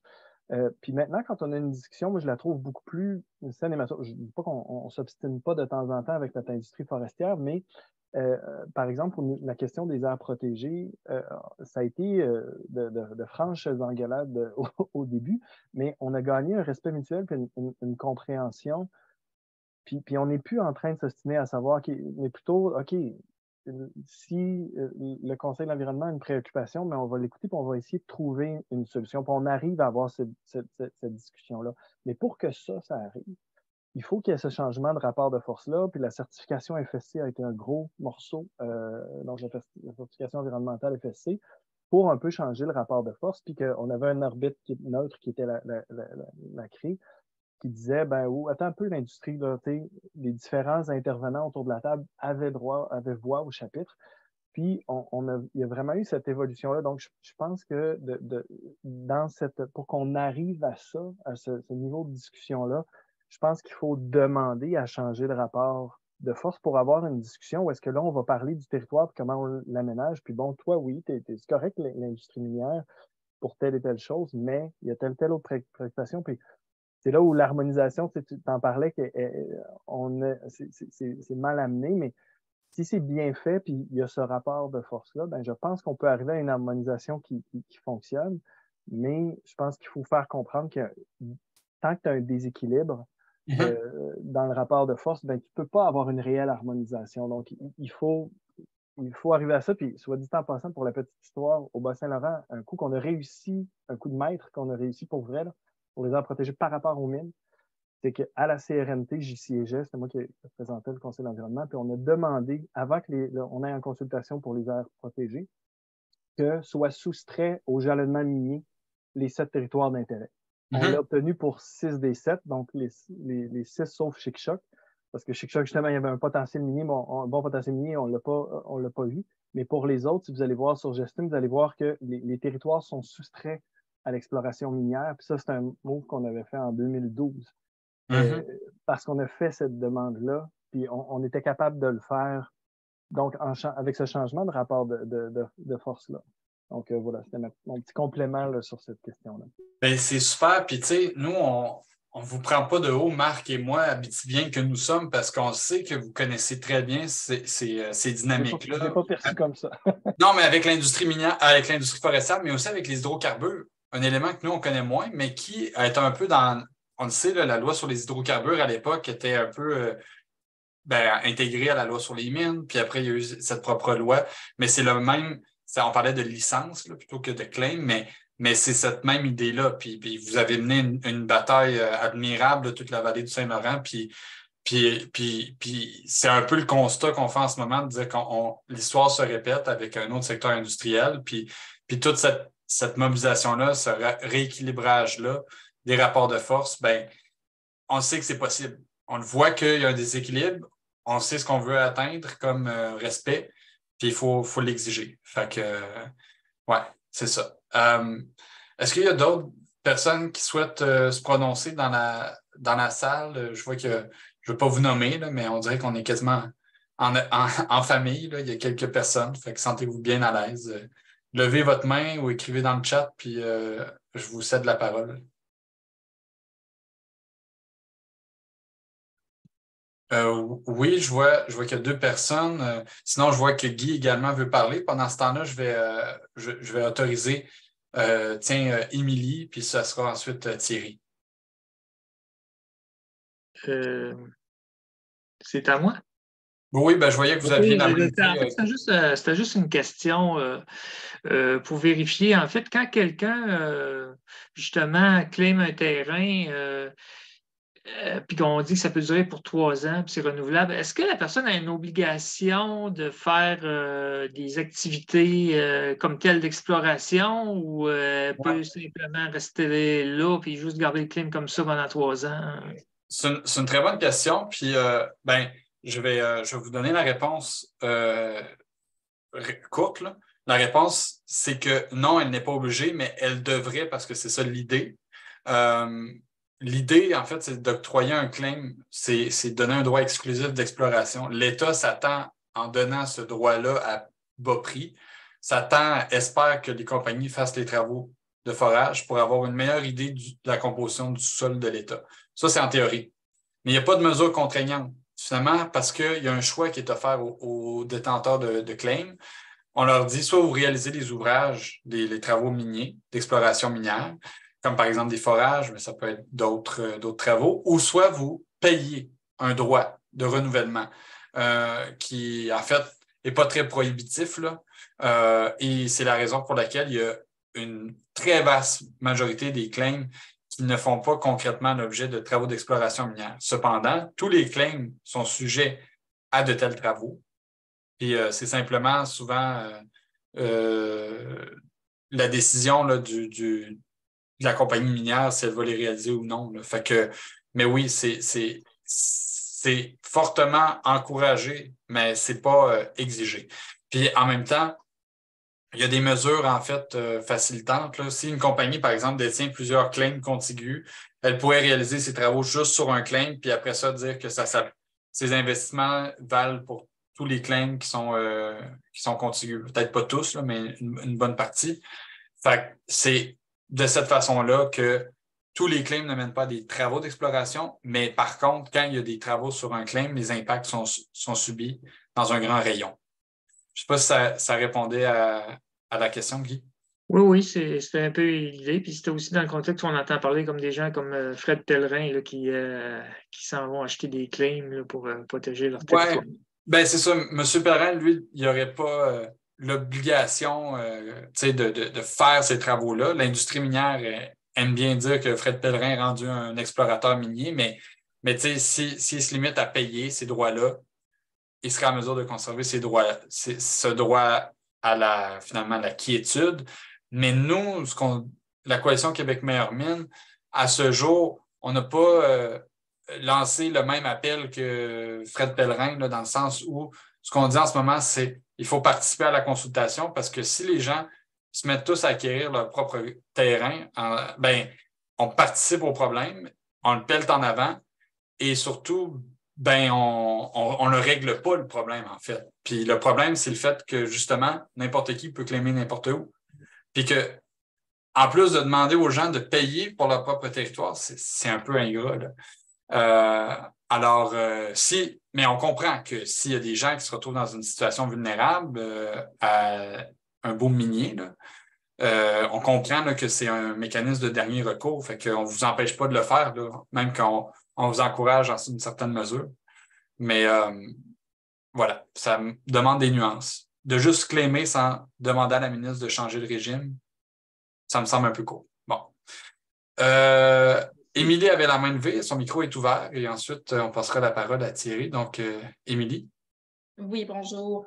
Euh, là, je vais faire une intervention concernant un cas de figure qui implique les crèmes miniers, mais qui est quand même particulier à la haute en fait à la Gaspésie.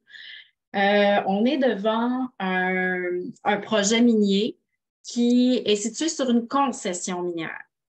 Donc, euh, là, de ce que j'ai cru comprendre lorsque j'ai épluché un peu les articles de loi, c'est que la concession minière, même si la mine est en phase de post-restauration, si elle est rouverte, on n'a pas besoin de se soumettre à une évaluation environnementale parce que la concession minière n'a pas de fin. Bon, on comprend que les concessions minières, ne s'en donnent plus depuis 1966, mais là, nous, on est pris avec ça.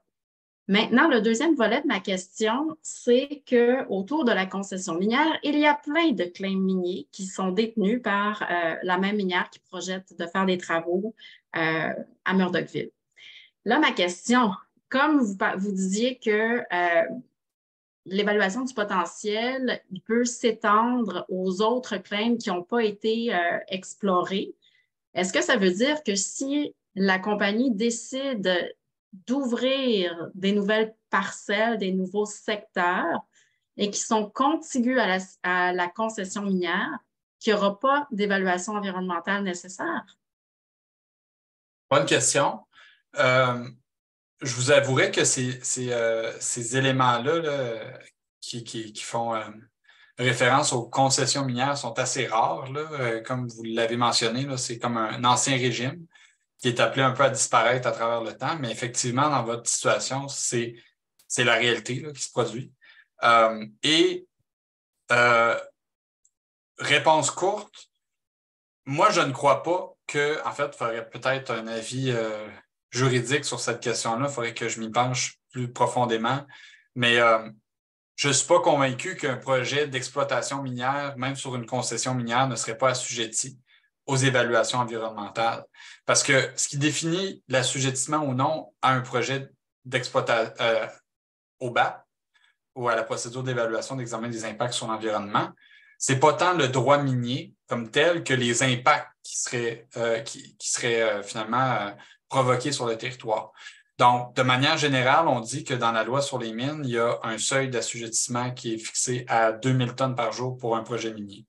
Si le projet a été finalement, euh, euh, si on peut dire, euh, fermé, que, mené la fermeture du projet, il y a un nouveau projet qui redémarre, il faudrait voir, mais moi, je pense que tous les espoirs ne sont pas vains dans votre situation. Il y aurait certainement un argument juridique à avancer pour exiger l'assujettissement d'un tel projet au bas. pour ce qui est de s'il devait voir le jour sur la concession elle-même.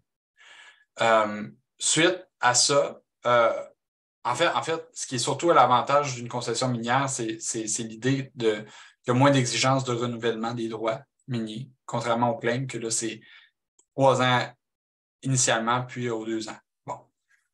Euh, à vérifier. Je dis ça en guillemets, puis je serais ravi de vous référer à d'autres avocats que moi, puis même moi à m'y pencher plus de manière plus approfondie. Ça serait très apprécié, oui. Mais euh, bon, on verra après. Là, je, vous ai mis, euh, je vais vous remettre mes coordonnées dans la discussion, puis ça vaudrait pour tout le monde. Mais euh, si vous avez des questions, n'hésitez pas à me contacter. Mais c'est évident que c'est quelque chose qu'on ne vous laisserait pas vous vous débrouiller tout seul, puis on va être très intéressé de, se pencher là-dessus puis voir comment on peut vous aider. Je vous remercie. oui. Le, deuxième volet, vous disiez, bon, en ce qui se concerne les claims contigus, euh, ben là, c'est évident, la question ne se pose plus. S'il y a des projets qui, sont sur ces territoires-là, ben, ils devront être soumis aux, euh, devront être soumis aux évaluations euh, environnementales le moment venu.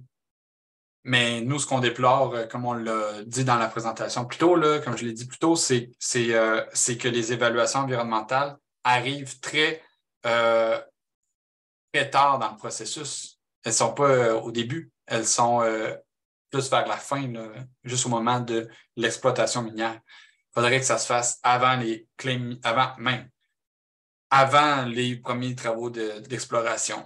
Peut-être que c'est un peu prématuré de déclencher un BAP pour tout titre minier, tout claim minier qui est octroyé, là, mais dans un monde idéal, peut-être que ce serait euh, une façon de faire qui, serait, qui responsabiliserait davantage les compagnies minières.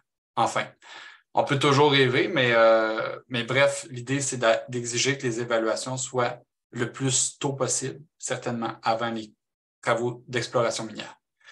Ce n'est pas le régime actuel, cependant. Euh, je lis dans les commentaires, euh, Maud euh, Le Temps qui indique que bon, les compagnies utilisent la technique du saucissonnage pour les gens qui ne sont pas familiers. En fait, c'est qu'il y a des seuils d'assujettissement à la procédure d'évaluation environnementale qui mènent au BAP et les compagnies se plaisent à scinder leur projet en plein de sous-projets, en plein de composantes qui, chacune d'entre elles, vont éviter le BAP euh, éviter la procédure d'évaluation environnementale. Ça s'est vu par des compagnies minières, euh, pas juste par GNL Québec et euh, Gazoduc. un exemple assez illustre et récent de cette technique du saucissonnage. on a également Thierry qui a levé la main. Je vais lui, je vais lui accorder la parole et pendant ce temps-là, je vais lire l'intervention de Maude encore une fois dans le chat qui indique être originaire de Rwanda, donc euh, une concitoyenne euh, de la région d'Abitibi, Témiscamingue, et qui s'est installée depuis deux, trois ans à Sainte-Anne-des-Monts pour fuir les éminations de métaux lourds qu'on devine qui provenaient de la, qui proviennent toujours de la fonderie Horn. Elle s'inquiète de voir l'intérêt minier pour la Gaspésie et surtout euh, pour ou par les jeunes qui s'installent à Murdochville et qui pensent vivre dans un milieu sain en pleine nature. C'est comme si on avait tout oublié. Et elle mentionne euh, euh, souvent qu'il euh, faudrait faire tester les sols parce qu'ils ont des jardins et des poules, des sols qui pourraient être contaminés en, raison des contaminations précédentes de l'industrie minière. C'est important d'en parler, de s'exprimer à contre-courant du discours qui montre que l'industrie minière va créer des jobs. Il faut parler et merci beaucoup, Maude. Ça fait du bien de lire ça. Euh, effectivement, c'est pour ça qu'on est ici ce soir. Euh, Thierry, si vous vouliez. Euh, oui, est-ce que, est que vous m'entendez? On, vous entend très bien. Donc, en fait, je suis Thierry, puis suis au Conseil de l'eau du Nord de Gaspésie, qui est l'organisme de bassin versant. Puis Émilie, qui s'est exprimée juste avant, fait partie de notre équipe, notre équipe aussi. Là. Ben, concernant, concernant Murdochville, hein, tous les terrains, euh, tous les terrains euh, sont, dans la base de données des terrains contaminés. Là. Il y a juste eu un recapage de surface, là, mais à minute qu'on va plus en profondeur, c'est encore des terrains euh, contaminés en lien avec l'historique d'exploration d'exploitation minière. C'est toujours en place et c'est toujours d'actualité. moi, j'avais comme le goût de vous faire part d'une petite. Ben, petit questionnement par rapport puis, euh, au niveau de la, procédure actuelle. Je ne sais pas s'il y a des gens parmi les participants ce soir qui se sont inscrits à la consultation publique qui, euh, ben, l'atelier public là, de cette semaine. Moi, je l'ai fait hier, puis je ne sais pas si parmi les gens qui se sont inscrits, si vous avez eu pour l'instant un retour avec un, lien d'accès, parce que pour l'instant, moi, j'ai aucune j'ai aucune information de connexion. Fait que je me demande si c'est parce qu'il y a un problème avec mon inscription ou si c'est juste que personne n'a reçu. Ben, je peux vous rassurer ou peut-être pas, mais moi non plus, je ne l'ai pas reçu, puis je connais personne qui l'a reçu. Euh, moi, je me suis inscrit pour euh, l'Assemblée du Bas-Saint-Laurent. Mm-hmm. Euh, fait qu'on devrait s'y retrouver. Fait si je l'ai, ben, je la transmettrai à Guy dans l'espoir qu'il puisse vous rejoindre. Mais, mais ouais, ça, c'est pour répondre à cette question-là. J'imagine que ça va rentrer demain ou plus tard, jeudi matin. Là, mais ouais, c'est un peu étrange. Sinon, nous, quand on s'est rendu compte qu'il y avait cette portion-là, on est parti pour s'inscrire, mais on s'est rendu compte aussi qu'il y avait comme une consultation plus ciblée. Ouais ciblé euh, pour des organismes du milieu. Que ça, en ayant vu ça, puis en n'ayant pas eu d'invitation en tant qu'organisme de bassin versant, ben, on a communiqué avec le Centre de services des mines. Puis, euh, en fait, on a décliné notre demande en nous indiquant ben, qu'au niveau de la Gaspésie, ben, l'organisation environnementale qui allait participer, c'était le CRE de la Gaspésie, île de et qu'on était membre de ce, de ce CRE-là, puis que dans le fond, il y avait un certain balancement de, balancement de,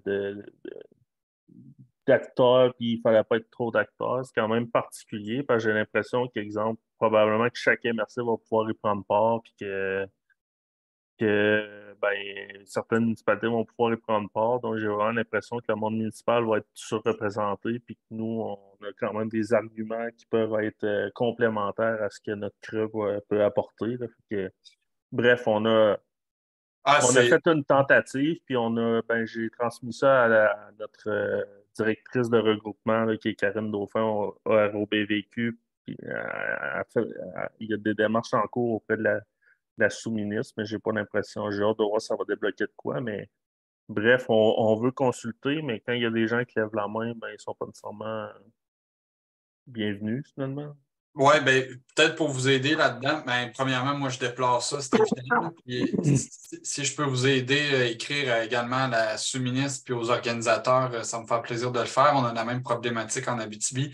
Puis je m'apprêtais à faire des démarches en ce sens-là demain, justement, pour, ben, pour pousser pour que des intervenants, dont Marc Nantel, ici présent, puissent assister à ces consultations-là ciblées. Peut-être pour les OBV, pour vous aider dans votre dans, vos, euh, dans votre argumentaire, sachez que lors de la consultation nationale qui a eu lieu le 20 avril, euh, le 20 avril dernier, oui, à Québec, en, en, présentiel, il y avait le représentant national du fait que du regroupement national des, des Creux, euh, Conseil régional d'environnement, c'était Martin Vaillancourt. Et il y avait également un représentant du ROBVQ, le regroupement des OBV du Québec. Donc, Là, pourquoi qu'à la discussion nationale, les OBV sont bienvenus, mais pas dans les rencontres ciblées? Ça n'a aucun bon sens.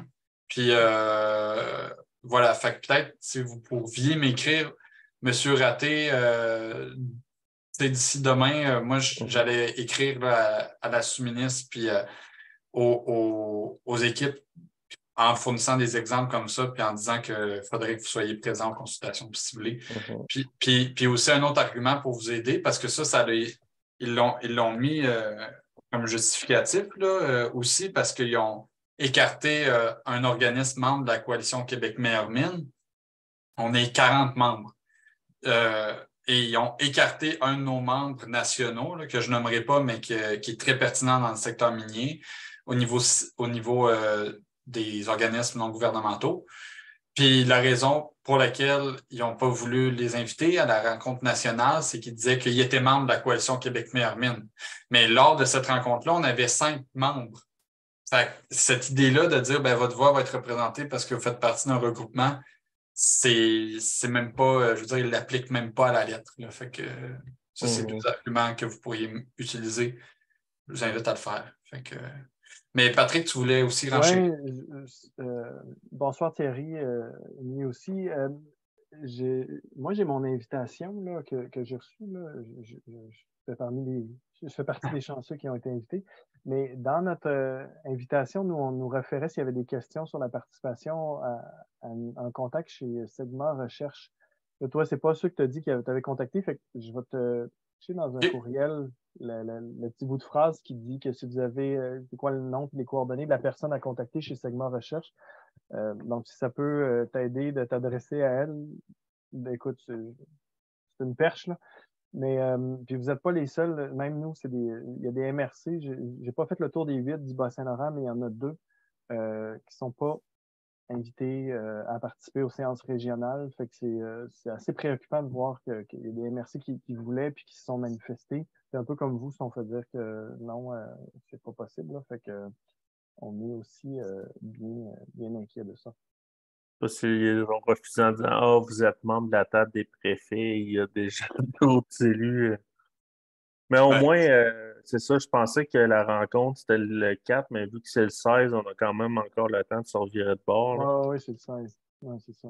Ah, OK, c'est le 16 au Bas-Saint-Laurent, ça, ou en Gaspésie? Oui, l'atelier régional, c'est le 16. Ah, OK, OK. Ouais. parce que le 4, c'est la séance. Oui, oui, exact. Euh, c'est pour le grand public, mais c'est le 16, euh, l'atelier régional. on a quand même du temps. Fait que oui, on espère. Puis on est avec, on est Boston Gaspésie ensemble. Fait que c'est ça, Thierry, tu as, des chances de pouvoir rentrer. OK. Ben, nous, on est un peu en marge de ça, disons, euh, dans les rencontres des régions, mais si on peut aider, ça va me faire plaisir, moi, de d'harceler le ministère avec ça, puis les organisateurs.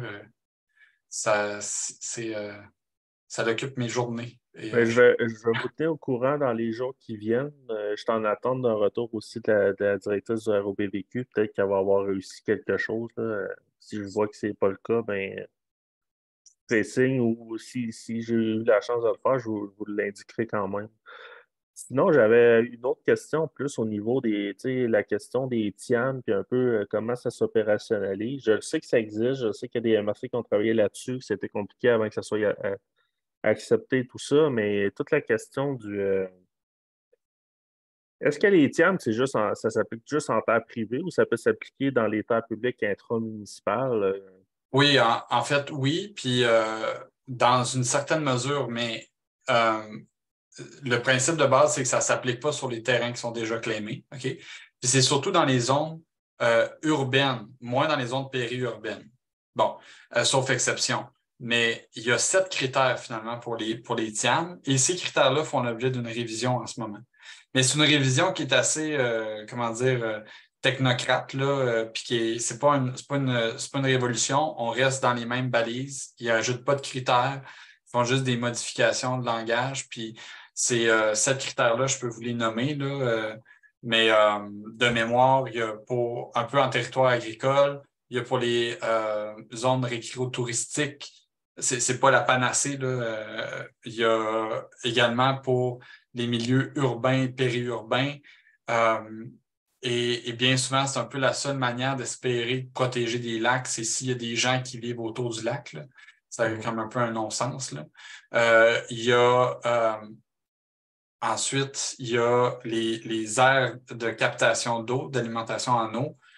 Euh, actuellement, c'est juste pour les puits qui desservent plus de 500, 500 personnes et plus. les catégories 1. Oui, catégorie 1 et 2, là, mais là, ils veulent l'élargir à la troisième. Euh, et ensuite de ça, il y a, euh, je crois qu'il y en a, il y en a, en fait, il y en a deux autres. Mais somme toute, oui, ça s'applique sur les, les, les, terres privées, entre guillemets, mais il faut que vous soyez dans une zone qu'ils appellent périurbaine où il y a cinq lots contigus qui sont occupés. Fait, si vous êtes un propriétaire privé qui n'a pas quatre autres lots autour, ben, ça se peut que vous ne soyez pas dans, le, dans la fourchette d'application. Ce n'est pas comme purement euh, au niveau, en, milieu habité. Ce n'est pas purement sur les propriétés, il y a des nuances, puis certainement, ce n'est pas ce qui va vous permettre d'enlever un claim. Mais euh, mais exemple, la procédure qui est évoquée par Patrick tout à l'heure, au niveau, c'était juste parce que c'était de la mise en réserve d'air protégé que ça peut être, fait, être fait en temps public? Oui, puis ça a été, euh, disons qu'on a. Moi, ce que j'ai, ce que j'ai compris, c'est que c'était une délégation de pouvoir qui était au niveau de la direction régionale du ministère euh, euh Forêt et Ressources naturelles à l'époque, puis qui n'est plus entre les mains du directeur ou de la directrice régionale maintenant, probablement parce qu'on a défoncé cette porte-là puis qu'ils ont voulu empêcher. En tout cas, fait que euh, oui, mais c'était vraiment pour la, création de la protégée. Fait que tu pourrais plus le faire. Mais Surtout que vous, c'était avant, c'était en 2012, puis les TIAM, ils ont commencé en 2016. C'est ça. Fait que non, c'est pas du tout un TIAM, c'est pas du tout la même procédure. Puis on, le pouvoir était dans la, à la direction régionale euh, pour les ressources naturelles, puis ils l'ont fait, la soustraction généralement, mais maintenant, ils ne peuvent plus le faire. Euh, même chose pour la possibilité forestière. maintenant, la direction régionale ne peut plus le faire. ça se passe au niveau du forestier en chef. Mais euh, Thierry, sur, euh, est-ce que tu est-ce que tu es allé voir sur Gestime parce que le, pourtour de la Gaspésie est tout en TIAM ou en instance de TIAM, mais c'est sûr que c'est beaucoup les terres privées, mais, mais c'est pas juste périurbain, c'est comme tout le tissu agro, euh, agricole, les rangs aussi, là, surtout au sud, là, mais même au nord, le, projet n'est pas accepté, mais c'est au moins gelé. Mais euh, il y, a un buffer autour de, de pas mal de villages, Saint-Anne-des-Monts, ça. Je ne sais pas si tu as déjà regardé ça. Euh, j'ai regardé j'estime, mais j'avoue que je n'ai pas regardé cette, cette, couche d'informations-là. Fait que je vais aller la consulter. Je, me permets un petit partage d'écran. Oui, vas-y Quand tu es sur Gestime, il faut que tu coches ici les contraintes à l'activité minière ici. Mm-hmm. Euh, puis là, ben, tu ça ici, c'est le projet de la MRC de la, euh, Haute-Gaspésie qui a, ici son territoire, euh, son projet territoire incompatible avec l'activité minière. Mais ça ici, c'est le TIAM des, de la MRC du sud de la Gaspésie qui est en jaune. Puis ici, tu as le projet de la MRC de la Matapédia. ça, c'est ce qui est actif là, en termes de, de, de TIAM de territoire incompatible avec l'activité minière. Euh, c'est ce que, ce que je vous. Je me, juste Mais c'est tout de la tonneau privée, ça. Il n'y a aucune tonneau. Oui, c'est ça. Non, tu pas dans le pays, effectivement. Les, les, territoires dont je te parlais là, sont, sont ici. C'est ça qu'on a. Je vais, prendre je vais prendre comme exemple, là, il y avait euh, notre plus gros lac de villégiature, on va dire, euh, pas privé, mais beau de villégiature. C'est des terres publiques, mais à l'intérieur d'un découpage municipal, c'est le lac c'est le lac au Diable dans le bassin versant de la rivière Madeleine. Puis il y a quelques années, il avait apparu euh, tout le lac était claimé, euh, la, profondeur du lac et, ça. Puis c'était comme.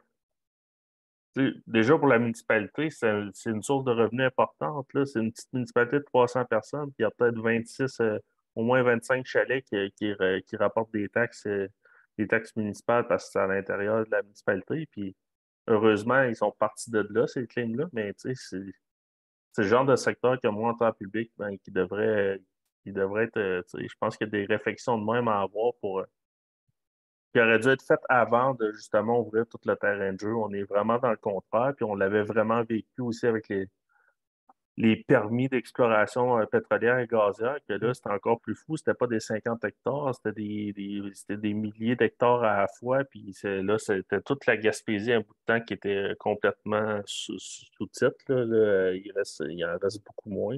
mais... Mm. Euh, ouais, c'est ça. Donc, euh, tout ça, et ça nous intéresse, c'est sûr.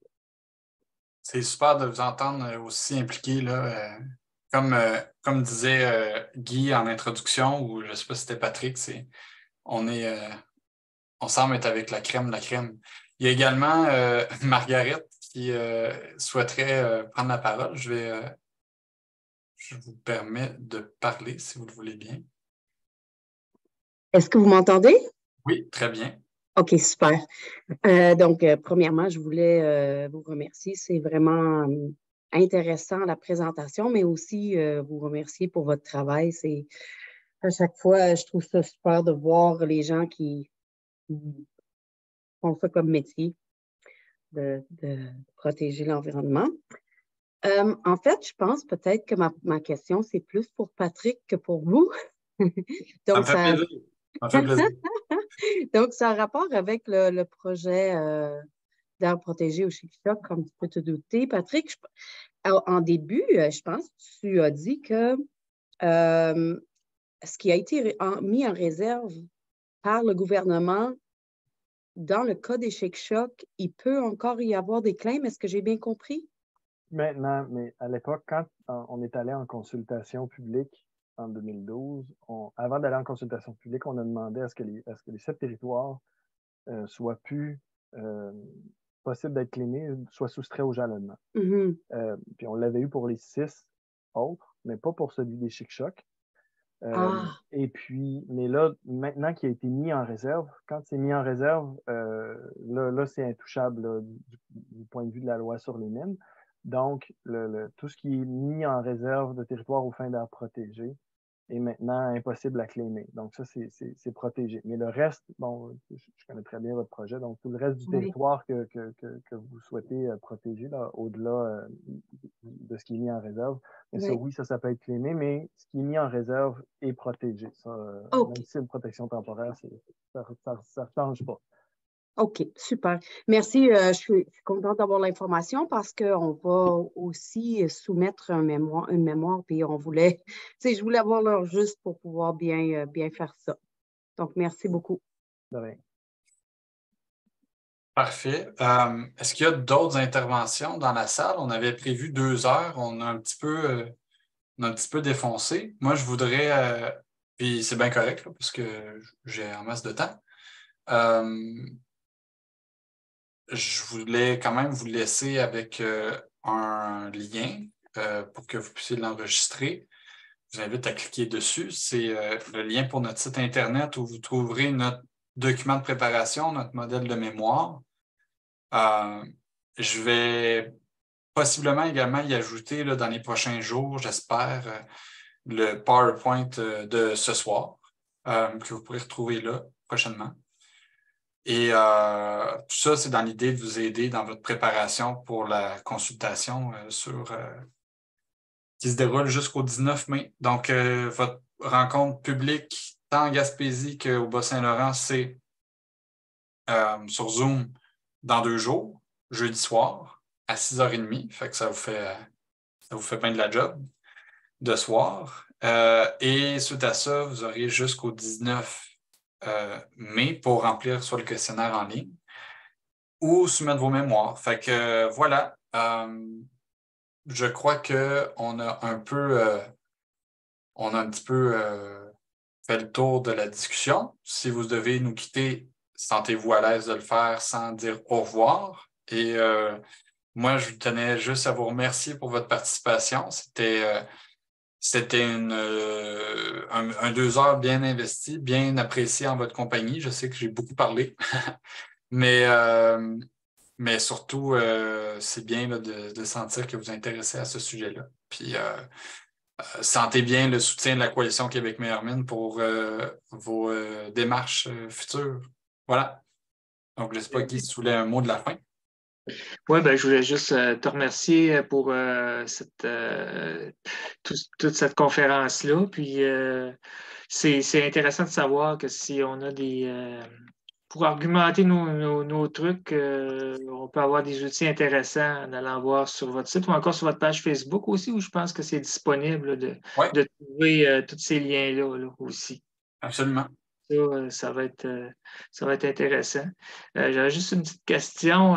si on ne s'est pas inscrit à temps à la séance du 4 avril, il n'y a vraiment pas moyen d'y avoir d'informations ou de. Ben, écoutez, moi, je. Je veux dire, on ne fera pas un recours en justice pour ça, là, mais, mais vous pouvez quand même déposer un mémoire, ça c'est évident. Mais, à la limite, vous pourriez tenter votre chance, écrire aux organisateurs, puis demander j'ai manqué la, date limite de quelques jours, euh, pourriez-vous m'ajouter? Moi, je ne serais pas gêné de le faire. Est-ce qu'ils vont l'accepter? Je ne sais pas. Mais souvent, il faut s'essayer dans la vie, puis euh, voilà. Fait que moi, je souligne que cette consultation elle est précipitée. Euh, on a peu d'informations, beaucoup de temps avant le début. On a peu de temps pour s'inscrire, en fait, pratiquement seulement une semaine. Donc, je veux dire, sentez-vous pas gêné de demander une prolongation, ça serait dommage qu'ils vous la refusent. Mm-hmm. OK. Bon, ben, s'il n'y a pas d'autres euh, interventions ou tout ça, euh, je remercie tous les gens qui ont participé, qui sont venus à cette, euh, ce, premier événement en conférence virtuelle qu'on organisait. Puis, Rodrigue, ça a été très, très, très intéressant et très éclairant pour, je pense, pas mal tout le monde là-dessus. Puis, je vous remercie beaucoup. Et puis, merci aussi à Patrick pour euh, sa participation. Et euh, donc, euh, ben, on souhaite peut-être de, se revoir dans d'autres circonstances intéressantes au niveau, au niveau du, développement, en fait, je dirais de la protection minière plutôt que du développement minier. exact. Ben, écoutez, moi, ma soeur habite à Trois-Pistoles, puis euh, fait que ça serait bien un jour peut-être qu'on ait l'occasion de se, voir en personne, pas simplement pour que je donne une présentation, mais plutôt pour vous rencontrer puis vous écouter. Fait que gardez-moi dans la boucle de vos actions, puis euh, sur tous les secteurs, pas juste les miennes. Ça va me faire plaisir d'être là euh, si je le peux. Donc voilà, à bientôt. Merci. Merci, Guy pour l'organisation. Merci, pour la présentation. Bonne soirée. OK, à bientôt. Bye.